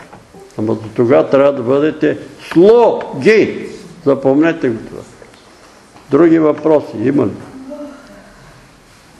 Да, кажи. Аз искам да благодаря на Бога. Искам да благодаря на Да, за... намерихте ли квартира? А, не работа намери. А, работа, е, слава на Бога. Работа преди няколко дена и изцяло с Божия помощ. Благодаря на Бога и за молитвите. Слава на Бога. И работа се намира пак с молитва и то е по Божията воля, защото Господ иска християните да работим. Това е по Неговата воля. Некой друг да прослави Бога. Кажи страна. Искам да благодаря на нашия Господ за малкия внук в Германия. Той е на 7 години и много обичаше сладко да яде. Обаче го завежда майка му на зъболекар, виждат, преглеждат зъбите и казват, леле, то като е гробница вътре, толкова развалени зъби, трябва да се оперира. И на 31 12 часа викат екипа, записват предварително и 12 часа сега на 31 12 часа операция с маска го слагат и му режат венците отгоре, отдолу. Аз много се бях притеснена, защото зная, вадила съм зъби и знае колко дни наред след това не мога, не се чувствам. Колко годишен е? Ма 7 години. 7 години. А той 4-5 зъбки трябва да извадят и му правят, разрезват отгоре отдолу. Обаче благодаря на Господа, просто на празно ми беше притеснението. След един час, като правят операцията, стои още два часа и щом вкъщи се прибира, Поставя му дава един кросан, той го изяжда, никакви болки, нищо. Аз се притеснявах като до бойката, ще има болки. Но се молихме и благодаря на Господ просто, че той е отнел болката, че никаква болка това дете не почувства. След, след операцията, след излизане. Ей, ми слава на Бога. Слава на Господа. Добре. Кажи, Лора. Да благодаря на Бога, че ме учи и ме пази. Благодариш на Бога? Че ме учи и ме пази. Добре, слава на Бога. Кой тук дигаше още ръка? А, сестра. Две. Искам да благодаря на Бога, че моят голям внук Спас, учи граждански брак, венчака се в храм Света Неделя и аз съм щастлива, че си имам снаха. Добре. Спас човек, знам, голямия ми внук сключи граждански брак, приятелката си, венчака се и си имам снаха сега. Слава на Бога. Включвайте граждански църковен брак и не дайте да мислиш, това е без значение. Нали, ще се молим и сега за една сестра, много отиснена, казва ни ни върви, брат Петре, дъщеря ми вика, се жени три пъти, от тримата има по едно дете, сега не иска децата, а те искат майка си. А викам с тия трима мъже, подписали граждански брак, венчаваха ли са? Не, не, с нито един. Еми тя не се е женила си. Е как? Еми те така. Тя не се е женила. Тя е била блудница и ги е раждала като блудница. Това е истина. Какво каза Исус на Самарянка? Доведи мъжа си. Нямам мъж. Добре казваш, че нямаш. Петима мъже си водил и то дето. Сега го имаш, за мъж не ти е мъж. Защо не ти е мъж? Защото не си се озаконил. Така че слава на Бога за такива, които се озаконяват, които се венчават. Разберете и не ги слушайте сега тия учители. Дори моята мила сестра, некой е казал, че венчавките били започнали от 1890 и не знам коя година. Абе Исус я попита самарянката, къде е мъжът ти? Ми няма мъж, еми тя живееше така, на семейни начала, на семейни, как се нарича това? На семейни начала. Разберете го, Бог ги благослови Адам и Ева. И Бог ги благослови. И това благословение трябва да върви и днес в църквите. Да има благословение. Но не можем да накараме на сила хората да се кръщават, на сила да се венчават. Ние само казваме, трябва да се кръщават. Оне, които не са кръстени, са лишени от благословение. Те не са Божието семейство. Не са в Божието семейство хората, които не са кръстени. Пачо, направете место тук на сестра Розалия.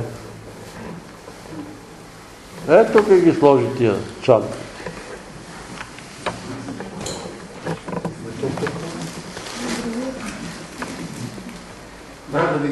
Сестра Мара, иди там, иди по там да бъдат Деси и сестра Розалия заедно. Деси, добре дошла. Здравей, добре дошла. И се молим за тебе. А? Криси. Криси, Криси. На Деси казали да се помести, а ти си Криси. Добре. Кажи, брат. Моля? А, кажи, брат, извинай.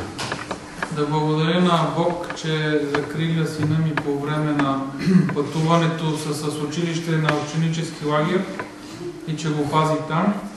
И да помоля следващата седмица пък дъщеря ми ще пътува и да я пази. И да потвърда това, което и вие казахте за брака.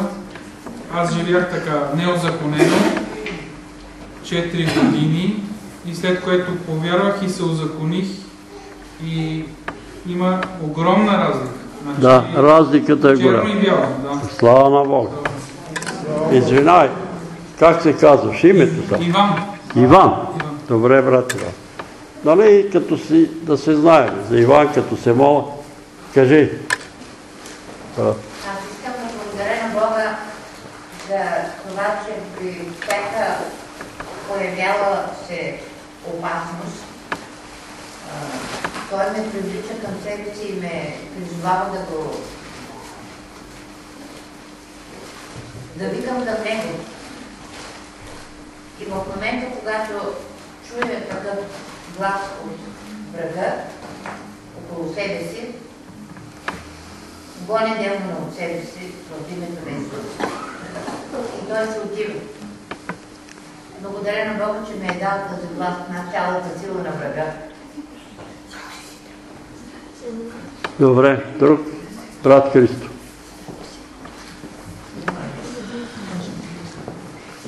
Заставим така. А, Благодарим на Бога, че ме пази по улиците, по пътищата. Благодарим за това добро време за тия, които сме на локалното планение на централно. Благодарим, че Да изкара още два месеца. Независимо, че всичко изсъхна, защото тук в града е добре, ама тези, които занимават с растения, много добре знаят, че това време не е добро за населението, но Господ дал, Господ дал. Благословено да бъде името Господне. И понеже началото на месеца имам откровение, представям пред небето страната и народа ми за покаяние. Представям пред небето с молитва за освобождение България от духа на Антихриста. Представям пред небето за защита такива и подобни на мен, вдовици, сираци, немотни, немощни, малоимотни, безработни, за защита от грабители, от утеснители, от притеснители, от разбойници и даже от убийци. Господ да покаже милост към нас и тия, които викаме ден и нощен към Него. Амин. А, вече брат Веско. Аз да благодаря на Бога за всичко, което Малко по-силно. че ни помага във всяко едно нещо, което Слава на всичко. Във всяко едно. Слава на Бога. Аз благодаря на Бога, защото като пътувахме за Димитър роден, за Димитров град. Наближихме един тир. Нали, и го изпреварвахме. Когато разстоянието беше от тук до Мария вече, между нас се вмъкна една кола. И ако Димчо не беше пуснал гъста и натиснал черачката, щехме да го залепиме за тира и ние щехме да си изтръгнем. Дявола ги гласи тия номера. Той човек лут ли беше, какъв беше, там е тира, тук ние сме на едно... И той на една ламарина мина по край нас. И пропоча по край нас, сигурно караше 250 км. Защото ако не беше минал, пак ще, ще се залепи или за нас, или за тир. Карат без да мисля. Обаче аз вярвам, че това беше номер на дело. Да не отидеме там. Номер на дело да не се срещнем с тия болни хора. Да ни ликвидира. Затова благодаря ви за всички уния, които сте се молили за нас. Благодаря ви преди всичко на Господ, че ни опази. Абе, просто на една ламарина мина човек. И пропучай си за ми. И молете се, когато пътувате по пътищата, защото не знам, всеки ден стават катастрофи, блъскат се, пълнат болниците, инвалиди, маса инвалиди има в България, на година по около 10 000 души стават инвалиди от катастрофи. Това е цяла армия. И брат Христо казва, да се молим за този народ. Народа не се кае. Народът трябва да се кае. Той каза Исус на Дойдоха и му казаха. Така и ние. Идва Панчо и каза. Два тира са се ударили. Един тир се ударил с един автобус. И са се изпотрепали. И Исус дойдоха и му казаха. Пилат примеси кръвта на галилейци с жерките. И кой му отговори? Исус. Мислите ли, че тия галилейци беха най-грешните? Не. Ама ако не се покаете, като тя ще погине. И мислите ли, че ония 18 души върху които падна силуамската кула в Ярусалим и ги изби, беха най-грешните жители на Ярусалим. Не. Но ако не се покаете, всички като тех ще загинат. Това е истината. И сега, мислите ли, че тия шофьори, които загинаха, са най-грешните боли? Не са най-грешните. Обаче, ако не се покаяме, всички като тех ще загинат. Защото думите на Исус се изпълниха за Иерусалим. Един милион и сто хиляди души загинаха в Иерусалим по време на еврейската война, на юдейската война. Един милион и сто хиляди. Той каза, ако не се покаяте, покаяли ли се жителите на Иерусалим? Не са се покаяли. Покаяха ли се жителите на София и на България? Не са се покаяли, братите. Не са се покаяли. Само като видят зори са вече на прага и виждат, че нема на къде тогава може да викнат. А некои тогава не искат да викнат. И тогава не искат да кажат помилвай ме Господ. Помилвай ме Господ. Добре. Да се молиме тогава за тия бележки и прочетах. Те не имат така, не са представени като нужди. Молиме ви за съпруга сестра Розалия, бащата на Кристи. Васил му предстои операция, но да бъде Божията воля. Ако е Божията воля да го оперират, ако не е да не го оперират. Понекога Господ отлага операциите и чрез лекари, но ние вярваме, че и лекарите са от Господ. Да се молиме за сестра Мара, къде е сестра Мара? Да, за нейния племенник, който е паднал, ударал си е главата и се намира в много тежко състояние. Да се молиме за сестра Иванка, тя ходи там на някакви процедури, се оказвало, че са попаднали на антихрист, който почват да, то няма Искам да ви кажа, че Бог може да употреби и антихрист за вашето добро. Но ако той спори с вас и ви кара да приемете неговата вяра или идеология, спасявайте се, отстранявайте се от такъв човек. И така ще се молим за сестра Иванка, Господ да я вдигне и цели краката, ръцете. Брат Ради, кажи.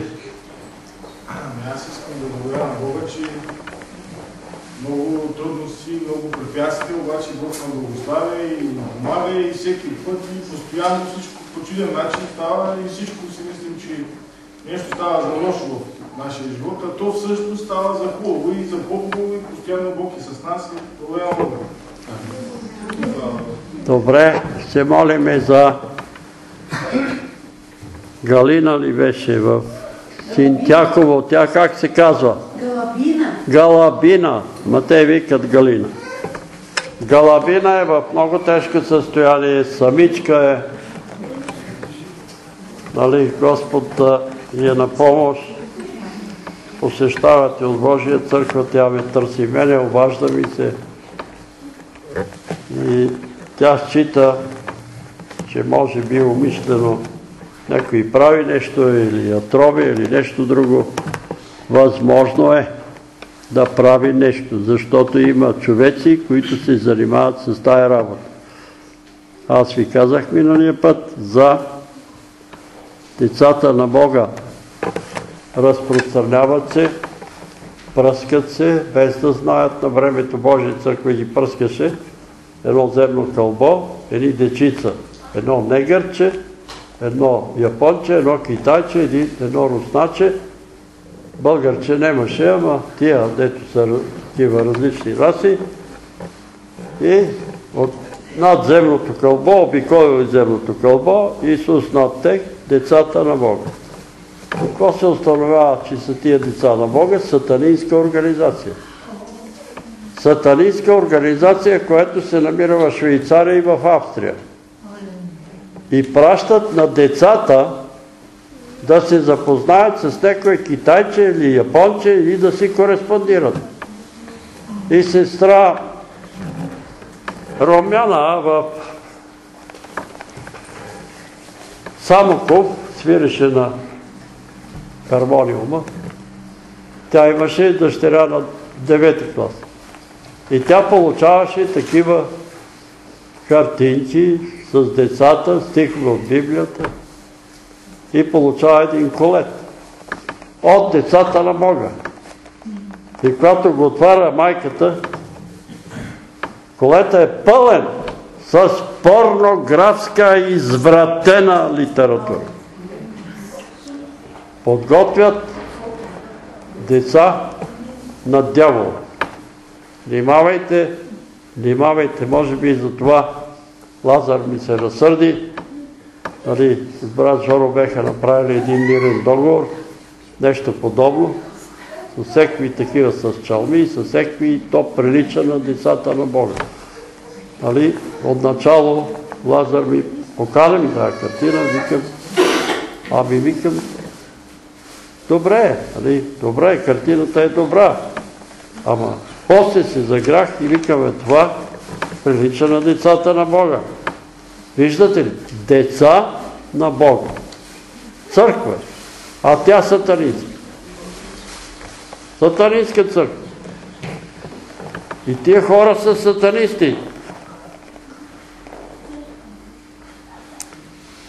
Ако имате тая книга, прочетете я. Аз бех сатанист. Така се казва книгата. Аз бях сатанист. Един сърбин отива в Германия, пред едно кино го вижда едно много красиво момиче, запознават се с него, ходят на кино, ходят на, на кафе. Той се влюбва в нея и тя окари да отидат на техното събрание. Тя казва, че е християнка. И той отива на тяхното събрание, пастира слиза от авона, докарват едно момиче през авона, той вади един нож, реже му ребрата и вади сърцето. И яде от сърцето. и разнася сърцето от човек на човек да пият от кръвта. И от тогава, като го подгонват, той бега в Америка. Бега в Латинска Америка. Сменява си името, сменява си а, физиономията. И го намират и там. Сатанинска организация. Да ни освободи Господ от този дух на Антихриста. Така че е възможно такива и на Галя да и правят нещо. Магиосниците, които ще горят в ада. Ако не се покаят, Бог им дава шанс. Но за да се покаят, трябва да остават тия дела. Добре, да се изправим и да се молим. А, кажи. За Кирил, Да? някакъв вирус три седмици кашля не Вирус. Ще се молиме Господ да умъртви вируса. Теодор също е понастинал. Вижте, времето се променя. Казаха, от утре падат температурите. А ние не сме свикнали с тия температури. Обувайте се, обличайте се, внимавайте, не бъдете много самонадеяни. Но преди всичко се молете Господ да ви опази. Защото колко и да се обличате, ако Господ не ви опази, и преди всичко се пазете от греха. Амин. И за Криси и тя кашля. И тя кашля. За Криси се молим да я освободи от кашля. Слава да бъде на името Ти, Всемогъщи Боже, Отче святи и праведни. Идваме при Тебе в името и достоинството на Твоя единороден и възлюблен Син. Амин. Молим Те да погледнеш над нас през кръвта на Исус, през жертвата на Твоя Син и да ни приемеш и да ни благословиш, Амин. защото имаме нужда от насърчение, от утешение, от изцерение и от спасение. Ако има между нас човек, който не са му простени греховете и не е спасен, моля ти запиши го в книгата на живота. Господи на силите, смили се за нас. Молим те за тия нужди. Молим те за Васил, който му предстои операция. Ако е волята ти, ти го и цари без операция. Но също те молиме понякога и лекарите, ти ги употребяваш за наше добро. Молим ти за Криси да и цариш от кашницата, да я освободиш от тази кашница, да я освободиш от тъстинката, да измърт микробите.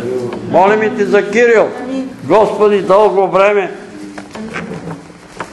вирусно заболяване има, моля те, Господи, да докоснеш с огъня на Святия Дух тези вируси и да ги изгориш и да ги унищожиш от Кирил. Благослови малкия Теодор. Също има такива проблеми. И цари Теодор. Ако има между нас друг некой, който каща или висока температура или настинал, изцери го Господи. Смили се за него. Алелуя. Ние те молим и за тези наши брати и сестри, които са из цяла България и са ни помолили да се молим за тях, които са в утеснение, които са болни, които страдат, които са по болничните легла. Моля ти да ги цариш, да ги благословиш. Молим и ти за Галабина, да я вдигнеш от леглото, да я опазиш, Господи, от отровите, да я опазиш от магиосници, от зли човеци. Молим и те, Господи, за племенника на сестра Мара. Той е паднал, ударил се главата, намира се в тежко състояние. Молим и те да го възстановиш, да дойде на себе си и цери го. Възстанови го, Господи, смили се. Молим и те за Кристина и Доротея. Може би некои си мислят, че това е дребна работа, но те са вързани и затова те молиме. Кристина я развържи от демона на алкохола и на никотина. И Доротея развържи от цигарите, Господи. Красимира, не. Красимира.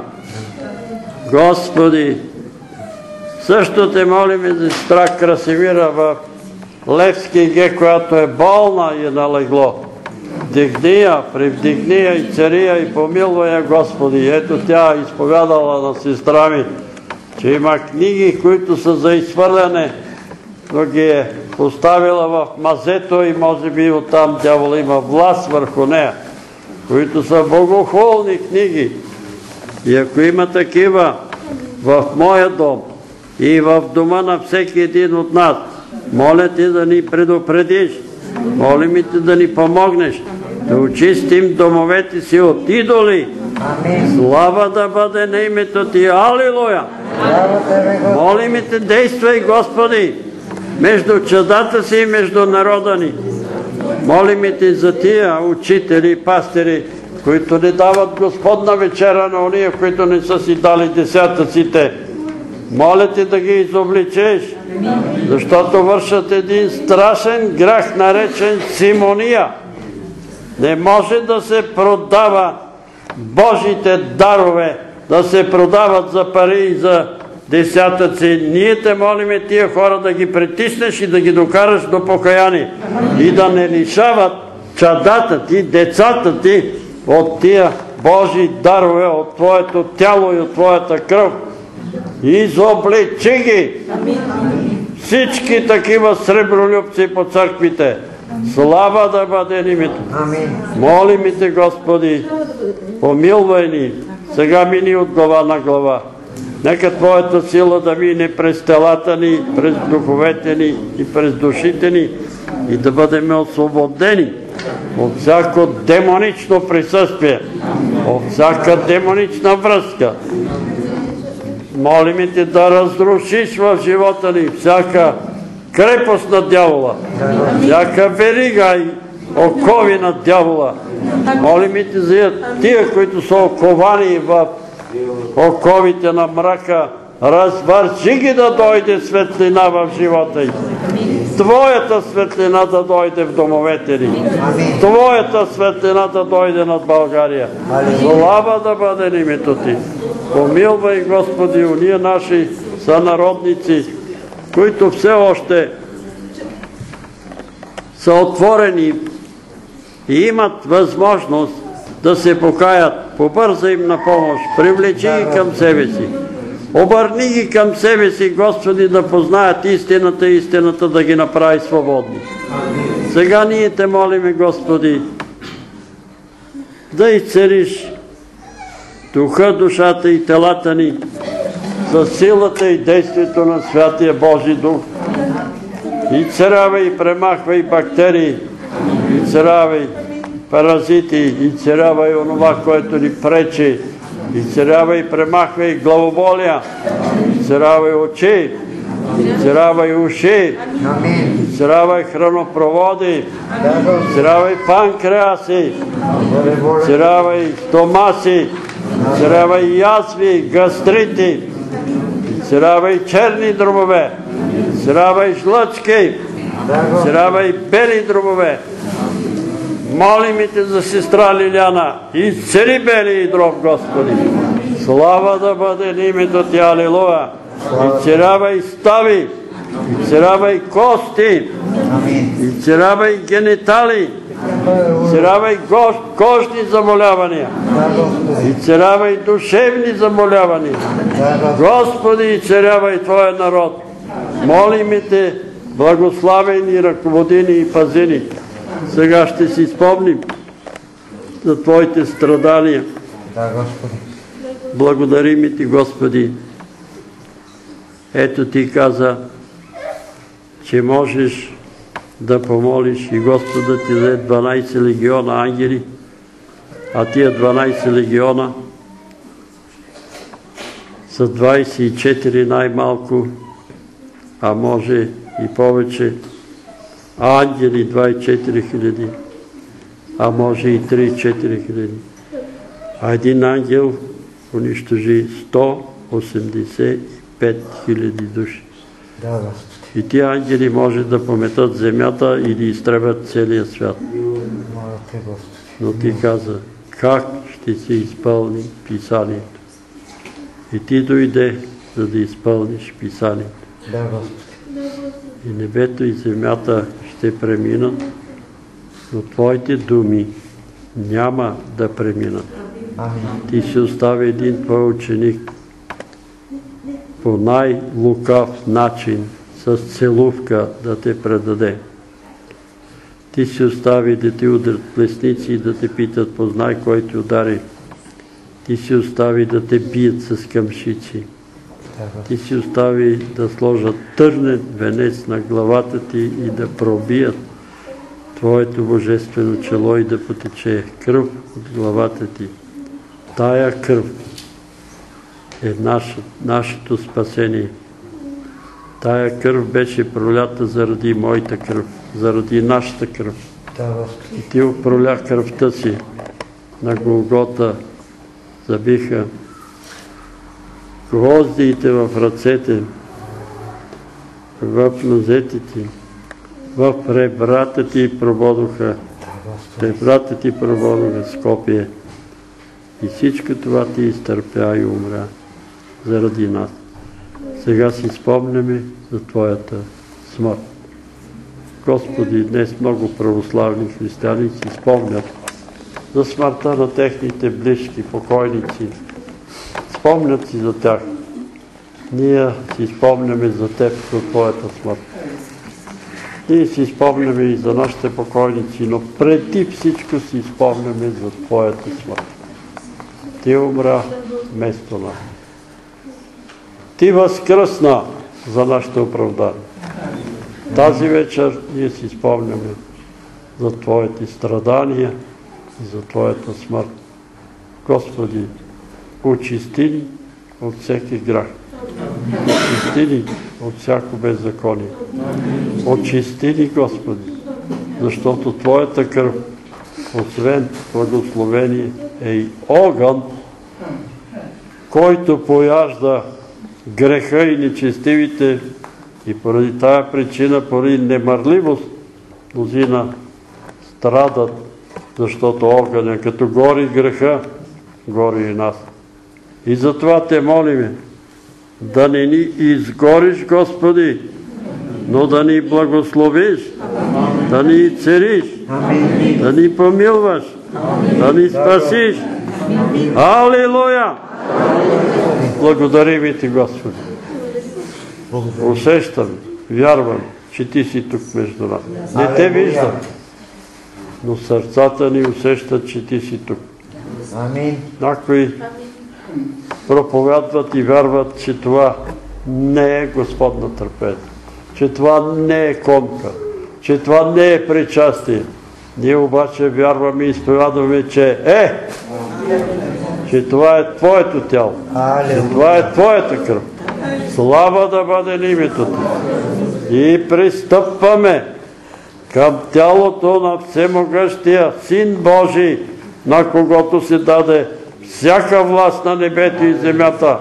И пристъпваме към Божия Син, Господ Исус Христос, и към Неговата кръв.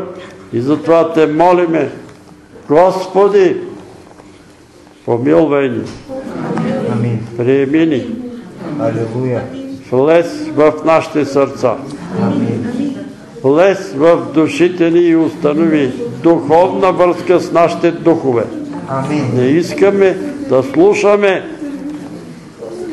думите на чужденците. Искаме да слушаме Твоя глас, Господи. И затова те молиме, говори ни.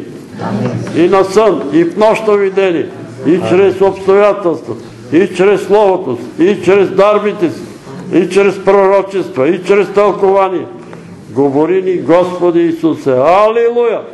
Алилуя! Обещал си ни, че ще ни изпрати Святия Дух. Обещал си ни, че последно време ще изливаш духа си на всяка твар. Ето, ние тварите сме тук пред Тебе. Излей духа си върху нас. Излей духа си върху нас. Изпълни Криси Святия Дух. Изпълни я със силата на Святия Дух.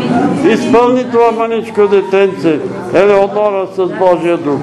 Изпълни, Господи, Твоя народ със Святия Дух. Слава Тебе, Души Святи, слава Тебе, Исусе, слава Тебе, Отче Святи и праведни, слава Тебе. Сега всички заедно желаем да ти се помолим с молитвата, с която Твоя син ни е научил да се молим и като се молим да казваме. Отче наш, който си на небесата, да се святи името Твое, да дойде царството Твое, да бъде волята Твоя, както на небето, така и на земята. Хлябът наш насъщни, дай нам днес и прости ни дълговете наши, както и ние прощаваме на нашите длъжници. И не ни въвеждай в изкушение, но извади нас от Богария, защото е Твое царството и силата и славата во веки веков. Амин. Вярвам на велик Бог Отец, Вседържител, Творец на небето и земята, на всичко видимо и невидимо, и в Господ Исус Христос, Сина Божий, единородния, който е роден от Отца, преди всички векове, светлина от светлина, Бог истинен от Бог истинен, роден, несътворен, единосъщен с Отца, и чрез когото всичко е станало, и който заради нас човеците, и заради нашето спасение, слезе от небесата, и се въплати от Духа Святия, и Дева Мария, и стана човек, и бе разпнат за нас, при Понтия Пилата, и страда, и бе погребан, и възкръсна в третия ден според Писанията, и се възнесе на небесата, и седи от ясно на Отца, и пак ще дойде за слава, да съди живи мъртви, и царството му ще има край. И в Духа Свят, Господа, животворящия, който от Отца и Бога, му се покланя и го славя наравно с Отца и Сина, и който е говорил чрез пророците, една свята, вселенска и апостолска църква, изповядваме едно кръщение за опрощаване на греховете, чака възкресението на мъртвите и живот в бъдещия век. Амин.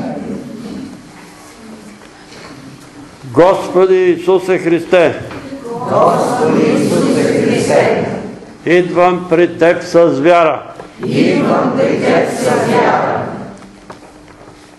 че Ти умря на Голгота на кръста. Че Ти умря на Голгота на кръста, за греховете на целия свят. За греховете свят и за моите грехове. и за моите грехове. Съжалявам за всичко, което съгреших. Съжалявам за всичко, което съгреших, С думи, мисли и дела.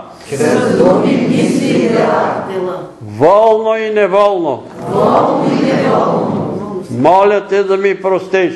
Моля да ми простиш. Господи, аз от сърце прощавам Господи, аз от сърце прощавам на всички човеци, на всички човеци, които са съгрешавали против мен. които са съгрешавали против мен, Били те живи или мъртви. били те живи и мъртви, И те моля да им простиш. и те моля да им простиш. Аз от сърце прощавам Аз от сърце прощавам на всички ония, които са вършили зло против мен. на уния, против мен, Или против мои роднини. или против моя дом. И те моля и ти да им простиш. Аз обичам и почитам моите родители Аз обичам и почитам моите и прародители. И прародители. До трета и четвърта рода. до трета и четвърта рода. И до десета рода. Но се отричам от греховете, от неправдите, от беззаконията, от престъпленията и от пороците.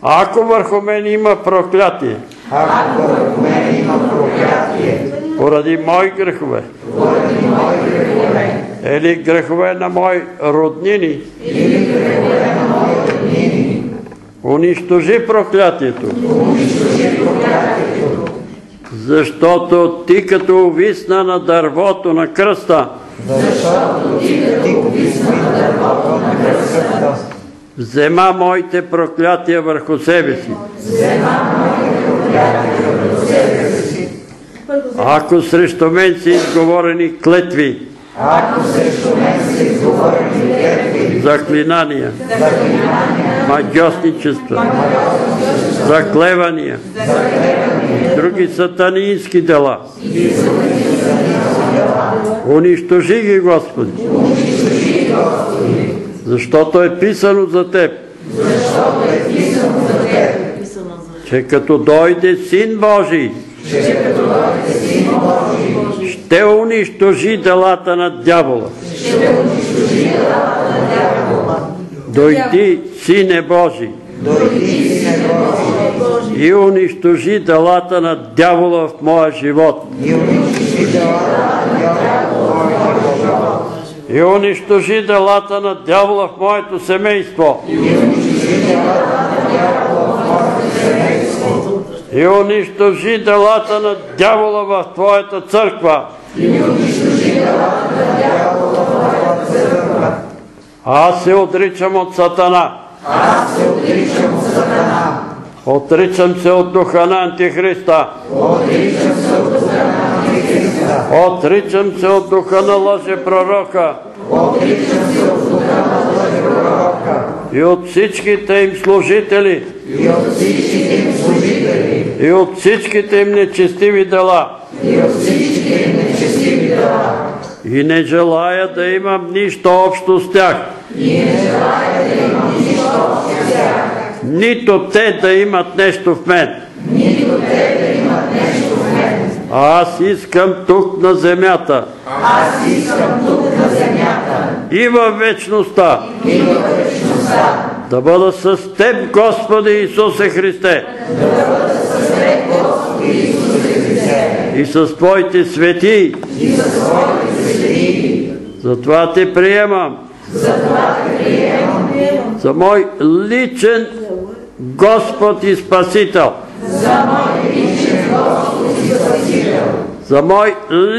духовен освободител. И за мой личен лекар. И те моля. Освободи духа ми от всякаква демонична връзка. Спаси душата ми. И изцели душата ми и тялото ми. От всяка болест. И от всяка немощ. Благодаря ти, Господи. Амин. Хайде, Панчо. Господи Исусе Христе, присъстваме на един тържествен момент, в който ние ще си спомним за Теб, за Твоята смърт на кръста и за Твоето възкресение. Тези уникални събития, които са се случили и които Отец е предизвикал, са нещо уникално както за Теб, така и за нас. И ние си спомняме с скръп, но и с радост за всичко това, което се е случило. И вярваме, че тези дрехи, които тук са поставени от болни хора, които с вяра се надяват да бъдат изцерени, ще получат изцерение според вярата им. Аз се моля и за тук присъстващите в залата, ако имат някакви духовни или материални тежнения, ако имат някакви физически болести, според вярата им да бъдат изтерени. Защото няма кой друг да ни изтери, ако не си ти, Господи. Да, Господи. Ако не е Твоята свята, живителна сила, която дава всичко, за да можем да, би, да бъдем здрави и съвършенни и да можем да Ти служим като слуги, но и да правим всичко това, което, което Ти ни заръчваш. Помогни ни да бъдем послушни, скромни и смирени, Амин. да можем да имаме добър успех поред дните, които си ни отредил на тази земя. Амин. Така, ако има видение, откровение, Когато започне с Криси, с нея започне с Криси, дойде благодат. За Кирил чувам две думи. Окултен източник. Това чувам това казва. Огледай какво чете. А той може и от интернет. Нещо от любопитство. За Краси от Левски Г. А, Виждам, брат Петър, едно дърво пред мене и прясно отчупен гнилко. Просто това, дето отчупеното е срещу мен е гнил. Ама дървото не виждам дали цялото е или не. Това виждам, това казвам. нещо не е родина, може да си отиде. Панчо Бърсо.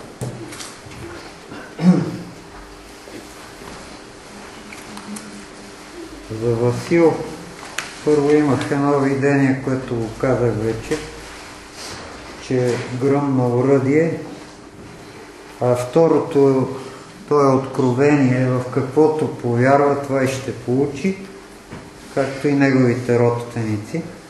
И третото е интересно, че Исус Христос, изправен в дълга бяла роба, с ореол на главата си, включил така ръце, се моли. Това за Васил. За Васил. Предлагам го пред Бог Отец. Така. За Галабина. Значи виждам един штангист, който е на тренировка и е клекнал пред една штанга, обаче не я е дигнал.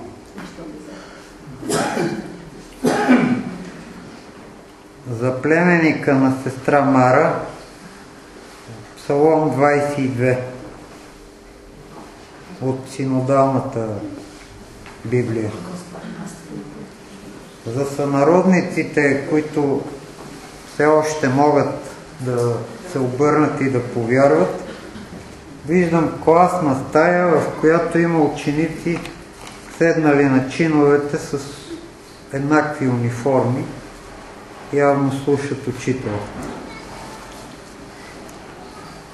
Трябва да станат Христови ученици. Когато се моли да си спомниме за гибелта и възкресението на Господ Исус Христос, виждам първо едно разпятие и след това виждам Исус Христос пак така в дълга бяла роба. Да, когато се моли, че имаме да ни дава съновидения и видения, а, виждам Библията, православната Библия, синодалния превод. Само, че е затворена. Трябва някой да отвори. Така. Искам да благодаря на Бога, защото отново тази година по време на Рождество ще има рождественски концерт. Американския диригент дойде и онзи ден започнахме в Конгрешанската църква а, репетиции. Песните са много хубави и винаги обстановката е чудесна и прекрасна и просто ми се пее часове наред след това. Личи си, че Бог е там и Бог благославя такива концерти. Концерта ще бъде на 8 декември в зала България. Това е събота от 6 часа вечерта. Декември. А, декември, да, 8 декември. Ако съм грешил, прощавайте. 8 декември, да. Благодаря на Бога за всичко това, което се случва, че ме пази, че ме защитава и че ми дава чудесни неща в живота. Благодаря. Благодаря. Айде, помоли. Да ми се раде, търсете и се намери. Хлопайте и се ми се отвори. Има ли между вас такъв който ако поиска син му храм, не му даде камък или змия скорпия. И тъй вие, които сте зли, знаете да давате благата дар, но колко повече вашия небесен Отец ще даде на тия, които искат от него. Вярвам в един Бог Отец Възидно, Творец на небето и земята и в един Господ Исус Христос, Сина Божий, единородния, роден не със твоен и бе роден от Дева Мария и страда и възкръс при Понтия Пилат и седи отдясно на Отца и пак ще дойде да съди живи и мъртви и всяко понесе има край в една свята и апостолска църква, чакам възкрешение мъртвите и живот бъдещия векъм.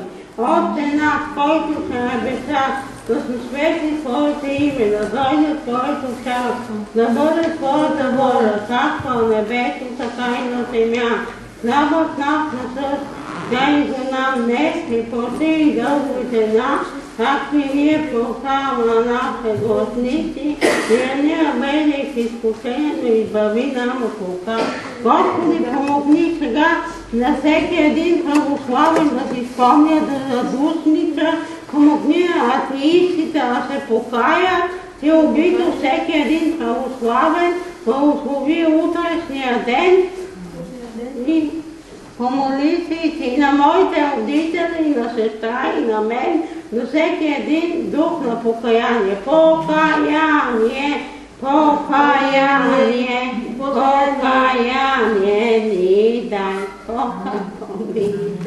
Господи, присъединяваме се към молитвата на Твоята рабиня Десислава, за баща и за майка и за сестра и и за всички българи, подари им покаяние. Молиме Те, чуй нейната молитва и подари покаяние на нашия народ.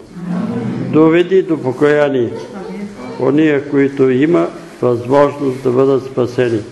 За ония, които са похулили Святия Дух, които са закоравили сърцата си, ние те молиме да дадеш и на тех шанс, още един, последен шанс, да чуят и да се покаят. Амин.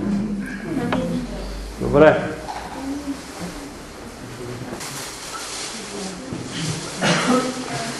И когато едеха, Исус взе хляб, благослови и го разчупи. И като го даваше на учениците, рече, вземете, ясте, това е моето тяло. Взе чашата и като благодари, даде им и рече, пийте от нея всички, защото това е моята кръв на Новия Завет, което се пролива за прощаване греховете на мнозина. Но казвам ви, че от сега няма вече да пия от този плод на лозата до неден, когато ще го пие с вас в царството на моя отец. И като изпяха хим, излязоха на Елеонските хълм. Ам. Пратък, моли се. Слава на Отца, Сини и Светия Дух, сега винаги во веки веков. Амин. Да се разпръснат всички врагове на Господа Исуса Христа, ако по един път са дошли по себе и по 10 пъти ще да бягат. Амин. Бължен е оня човек, който не отива в събранието на нечестивци, в пътя на грешници не стои и сборището на развратители не седи. А в закона на Господа е волята му и върху неговия закон той размишлява денем и нощем. И ще бъде той като дърво посадено край водни потоци, който дава плода си свое време и чийто рис не вехне. И във всичко, що върши, ще успее. Не тъй са нечестивците, не тъй, но те са като прах, що вятърът измита от земното лице. Затова нечестивците не ще осудят на съда и грешниците събранието на праведните. Защото Господ знае пътя на праведните, а пътят на нечестивците ще погине. Амин. Господи Исусе Христе, Сине Божи, предстои Боже, много важно събитие, но те молим Боже, спаси не само нас и доме, домовете ни, Господи, защото Ти си казал, повярвай Господ Исус Христос, ще се спасиш ти и домът ти. Слава на Отца, Сина и Светия Дух, сега, винаги и во веки веков. Амин. Амин. Седнете.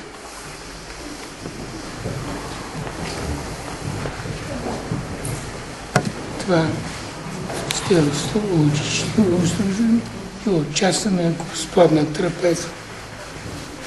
Намерих един стар християнски катехизис и сега го преработвам така, усъвременявам, но там пише за тези благодатни средства, които Бог използва за обучава и да възпитава своите вярващи. Благодатните средства ги казва две. Божието Слово и Господната трапеза. Те са благодатни средства, чрез които Бог действа в нашия живот. Какво ни учи Словото? Ние чухме, брат, да бъдем слуги. Да служим на братята, да служим на другите. Имаше на времето една сестра, Парашкева Николова. Тя беше декуниса в църквата. Нейната дъщеря, павицата Елена Николай. Тя посещаваше болни, слаби, немощни. И сега съм слушал от друга сестра, която е придружаваше. Йорданка Никола Кожухарова. Отиваме, казва, в един дом болна. Парашкева Никола беше едра жена. Вземе, казва, болната от леглото, премести на кошетка или на друго легло, изчистиме, казва, леглото, изперем чершафите, сготвим обяда и седнем след това да си говорим. Действане на дехонистите, да служиш на другите. Това е Словото, което Бог използва. Затова всичко това, което ви се казва вън от Словото, е заблужение. Е лъжеучение, щом не е със Словото. То е лъжеучение. Когато ни се казва, че Боже, ние ще направим нещо, за да спасим лъжеучение. На времето имаше сараф. Знаете ли какво са съвърните сарафи? Ченчеджиите.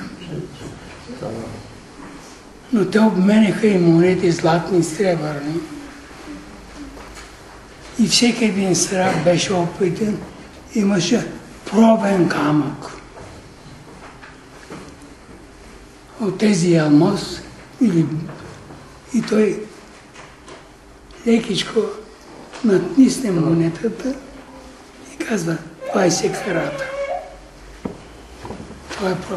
От опит познава кое е, какъв е примесът и каква е чистотата. И Словото ни е дал такъв пробен камък, който може да проверяваме всяко лъжа учение. Знаете ли кое е? Кръвта на Сина му Исус Христос ни очиства от всеки грех. Това е проблем камък на всяко учение. Ако ви учат, че по друг начин може да се спасите, че вие трябва и нещо да направите, лъжеучение. Проблем камък кръвта на Сина Исус Христос ни очиства от всеки. Няма друго средство. И Христос иска да си спомниме за това, което Той е направил за нас. Това са другото благодатно средство, Господната трапеза. Да участваме в Господната трапеза, да си спомняме за смъртта на Господ Исус Христос. Това е моето тяло, така казва Христос. Ма вика, това е хляб. Христос каза, че е Неговото тяло. Повече няма разправи. Ама така, ка- това е, той казва, не аз, не друг пастир, не друг учител. Христос казва, това е моето тяло. Или го взимаш за неговото тяло, или не го взимаш. Но той казва, че е неговото тяло. Ако вярваш, то става неговото тяло. Ако не вярваш, не става. Защо? Защото материалните неща са израз на духовните неща. И точно това обяснява Христос на своите слушатели в Капернум. Думите, които говоря. Дух са живот. Думите. Словото е дух и живот. Ако го вярваш, ако не го вярваш, това е една обикновена книга. Защо много люди не вярват в Словото? Защото има три неща, които Бог трябва да им направи. Първото нещо, което Христос свърши. Четем в Евангелието от Лука 24 глава. Отвори им умът да разбират писанието. Христос, ако ти не отвори умът да разбираш писанието, това е една обикновена книга. Това не е Божие Слово. Второто нещо, какво казвам? Духът трябва да ни разкрива Словото си. Духът, той го е писал. Духът ни открива истините. Духът ни открива Словото Божие. И затова апостол казва на, на римните. Духовният човек разбира духовните неща. Ако вие твърдите, че сте кръстени с Святия Дух, значи Святия Дух е във вас, тогава защо се чудите, какво пише Бог? Защо не вярвате това, което е казал в Словото? Духът ни открива Слово. И самото Слово открива себе си. Това са трите неща, които Бог използва за това. Е едно от благодатните средства, които Бог използва, за да усъвършенства своите свети. Словото и Господната трапеза. Сега ние ще пристъпим към Господната трапеза. Ще участваме да се храним от Неговото тяло. Зато Той каза, който еде моето тяло и пие моята кръв, има вечен живот. И сега, като вземе от хлябът, който тялото на Господ Исус, кажи в себе си, Господи, моето тяло е увредено, но Твоето тяло е съвършено. И сега като взема от Твоето тяло, въздействие върху тяло да бъде съвършено и стрено за слава на Твоето. Това е същността на Господната. И ставаме съучастници на Неговата святост. Той е свято. Неговото тяло е свято. Защото Той е свят. И ние участваме в Неговата святост. Затова Сатана иска да отклонява вярващият, че не били достойни да взимат Господня трапеза. А няма да станеш никога достоен, защото човек не е достоен. Но ние имаме заради достоинството на Господ Исус Христос. А Той ни каже, елате, да участва. Това проведе, казва апостол Павел, като изяснява онова, което е извършил Господ Исус Христос. Когато вземе този хляб, ние възпоменаваме смъртта на Господа. Смъртта на Господа. И ако Господ Исус Христос, Исус Христос е Твой Господ, трябва да споменаваш Неговата смърт. Той иска да го помним. Защо? Да пазим себе си от грехът. Затова иска да го помним, че той умря за греха. И аз никаква цена не трябва да правя грех, защото ще участвам в тази трапеза, която той дава себе си за моя грех. Това е същността на Господната трапеза. Това е благодатното средство, което Бог иска чрез това да ни запази от този свят, да ни запази от грехът, да ни даде сила да се съпротивляваме на грехът и да вършим Неговата воля, като вземем чашата. Това е Неговата кръв, която изчиства всеки грях. Какво трябва да правим? Идваме с дух на благодарност, че Бог е умрял заради моят грях, заради твоят грях. С дух на съжалявам, че моят грех е бил причина за неговите страдания. И така, през нощта, казва апостол Павел, когато Христос бе предаден все хляб, Благодари ръчове, рече, вземете и аз. Това е моето дело. Нека да благодарим за това.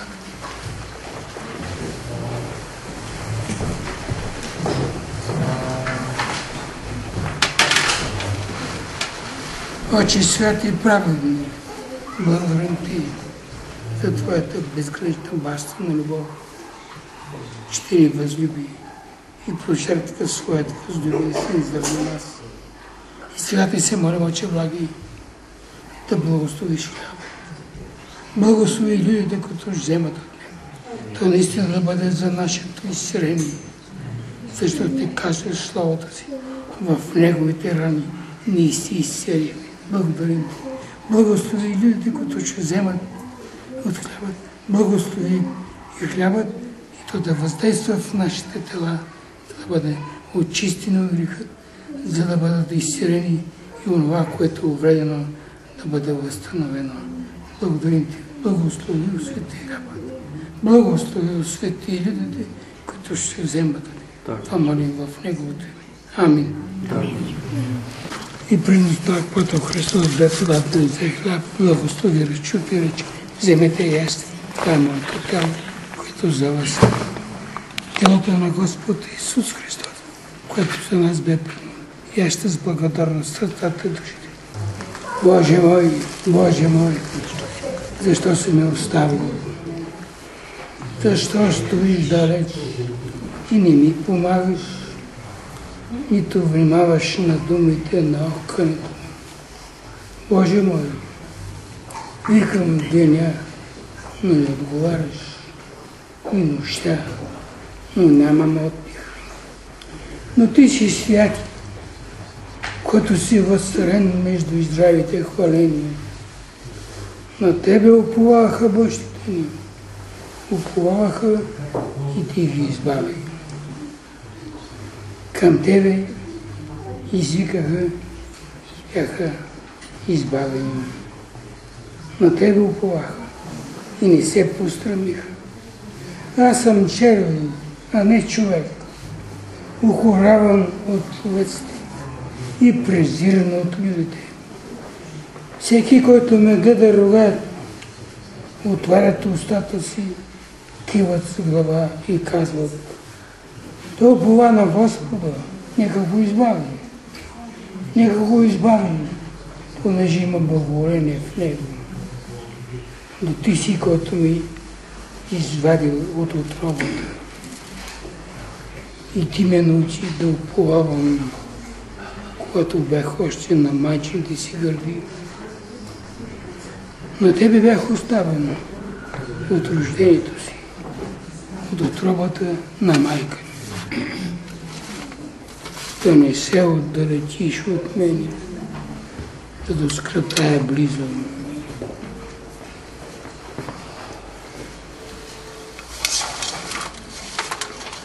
А след вечерята Исус взе чашата, благослови рече, пийте от нея всички.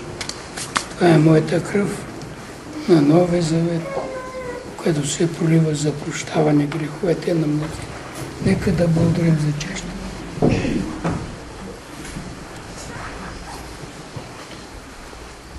Отче святи и праведни, ние ти благодарим за тази скъпоценна кръв, пролято от Твоя възлюбен син на Голготският кръст, за нашите греховици. престъпление. И сега ти се молим, Отче Благи, благослови освети чашата. Благослови освети людите, които ще пият от нея. Тя наистина да бъде за прощаване на греховете ни. Защото ти казваш словото си. Кръвта на Сина му, Исус Христос, ни очиства от всеки грех. Благодарим ти, слава на Благослови освети чашата. Благослови освети людите, които ще пият от. И както ни удоставяш да участваме в трапезата на Твоя възлюбен син, ни ти се молим да ни удостоиш да участваме в Неговата слава. Това молим в Неговото име. Амин. Амин.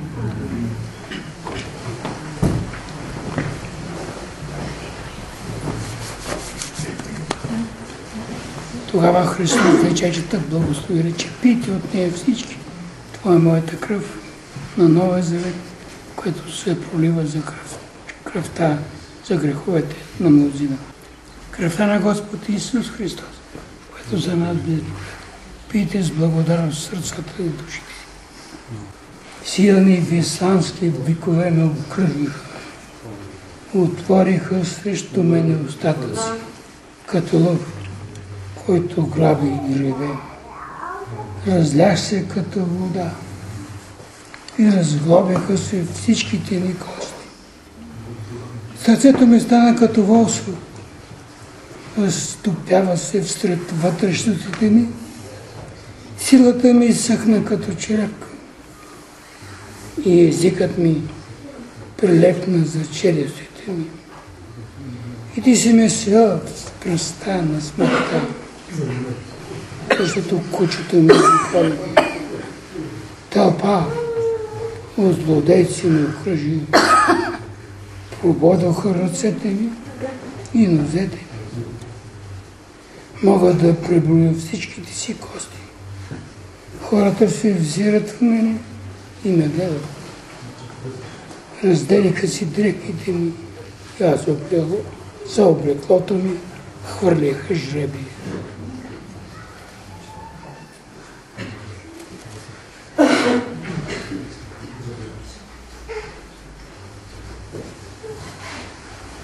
И не скривай лицето си от слугата си. Понеже съм в отеснение, бърже ме послушай. Приблизи се при душата ми и изкупи. Изкупи ме поради неприятелите ми. Ти знаеш как ме укоряват, как ме посрамяват и му пожаляват. Пред тебе са всичките мои противници. Ухор съкруши сърцето и страдам. А чаках да ме пожали някой, но нямаше никой. И отишите но не намерих.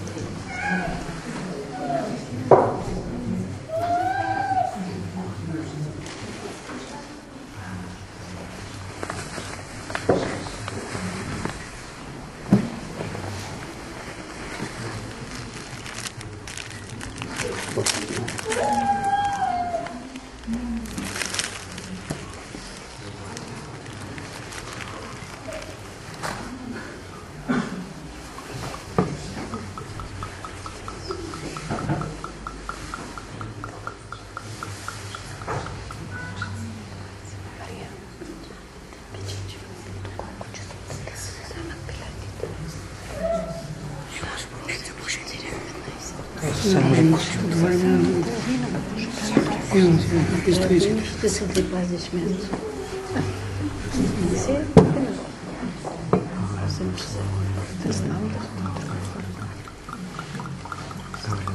Стига. Стига да може да... Намерим една карма да се сипаме и поръчат. Аз ще го отваря. Що?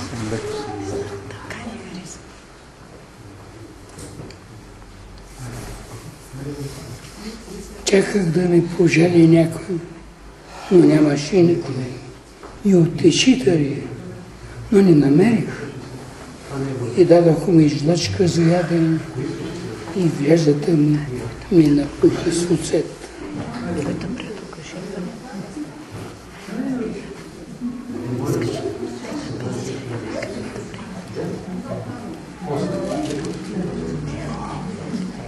Кой е повярвал в известието ни и на кого се открила мисата Господня? Защото израсна пред него като отрасъл и като корен от суха земя. Нямаше благообразие, нито приличие, да да го гледаме, нито красота, да да го желаем. Той бе презрян и отхвърлен от човеците. Човек на скърби и навикнал на печала. И както човек, от когото отвръщат хората лице. Презрян бе и за нищо го не щето.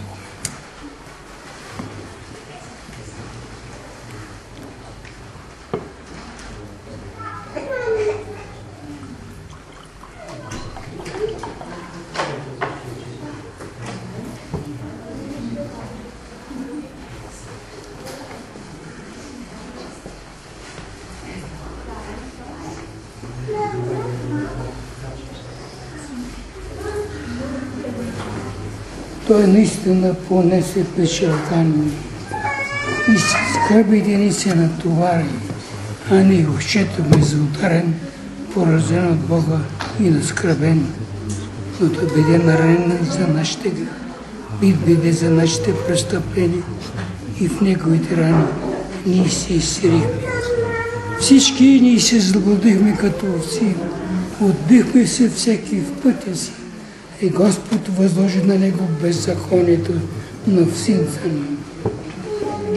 Той бе огнетяван, но смири себе си и не отвори устата си, като агния, водено на клане и като предстриг... овца пред стригачите си, което не издава глас.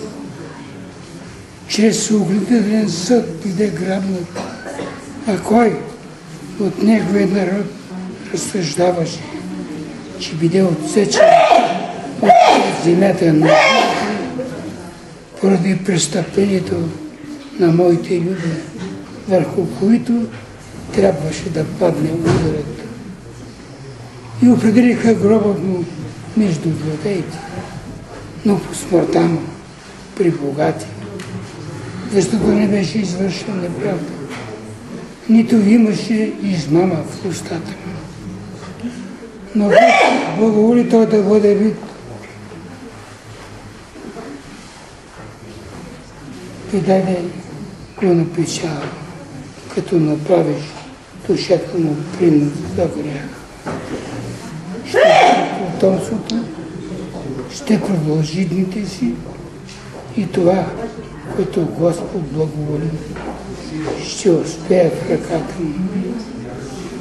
Ще види плутовете от труда на душата си и се насити. Праведник служител ще оправдае мнозина чрез знанието им за него. Alleluia.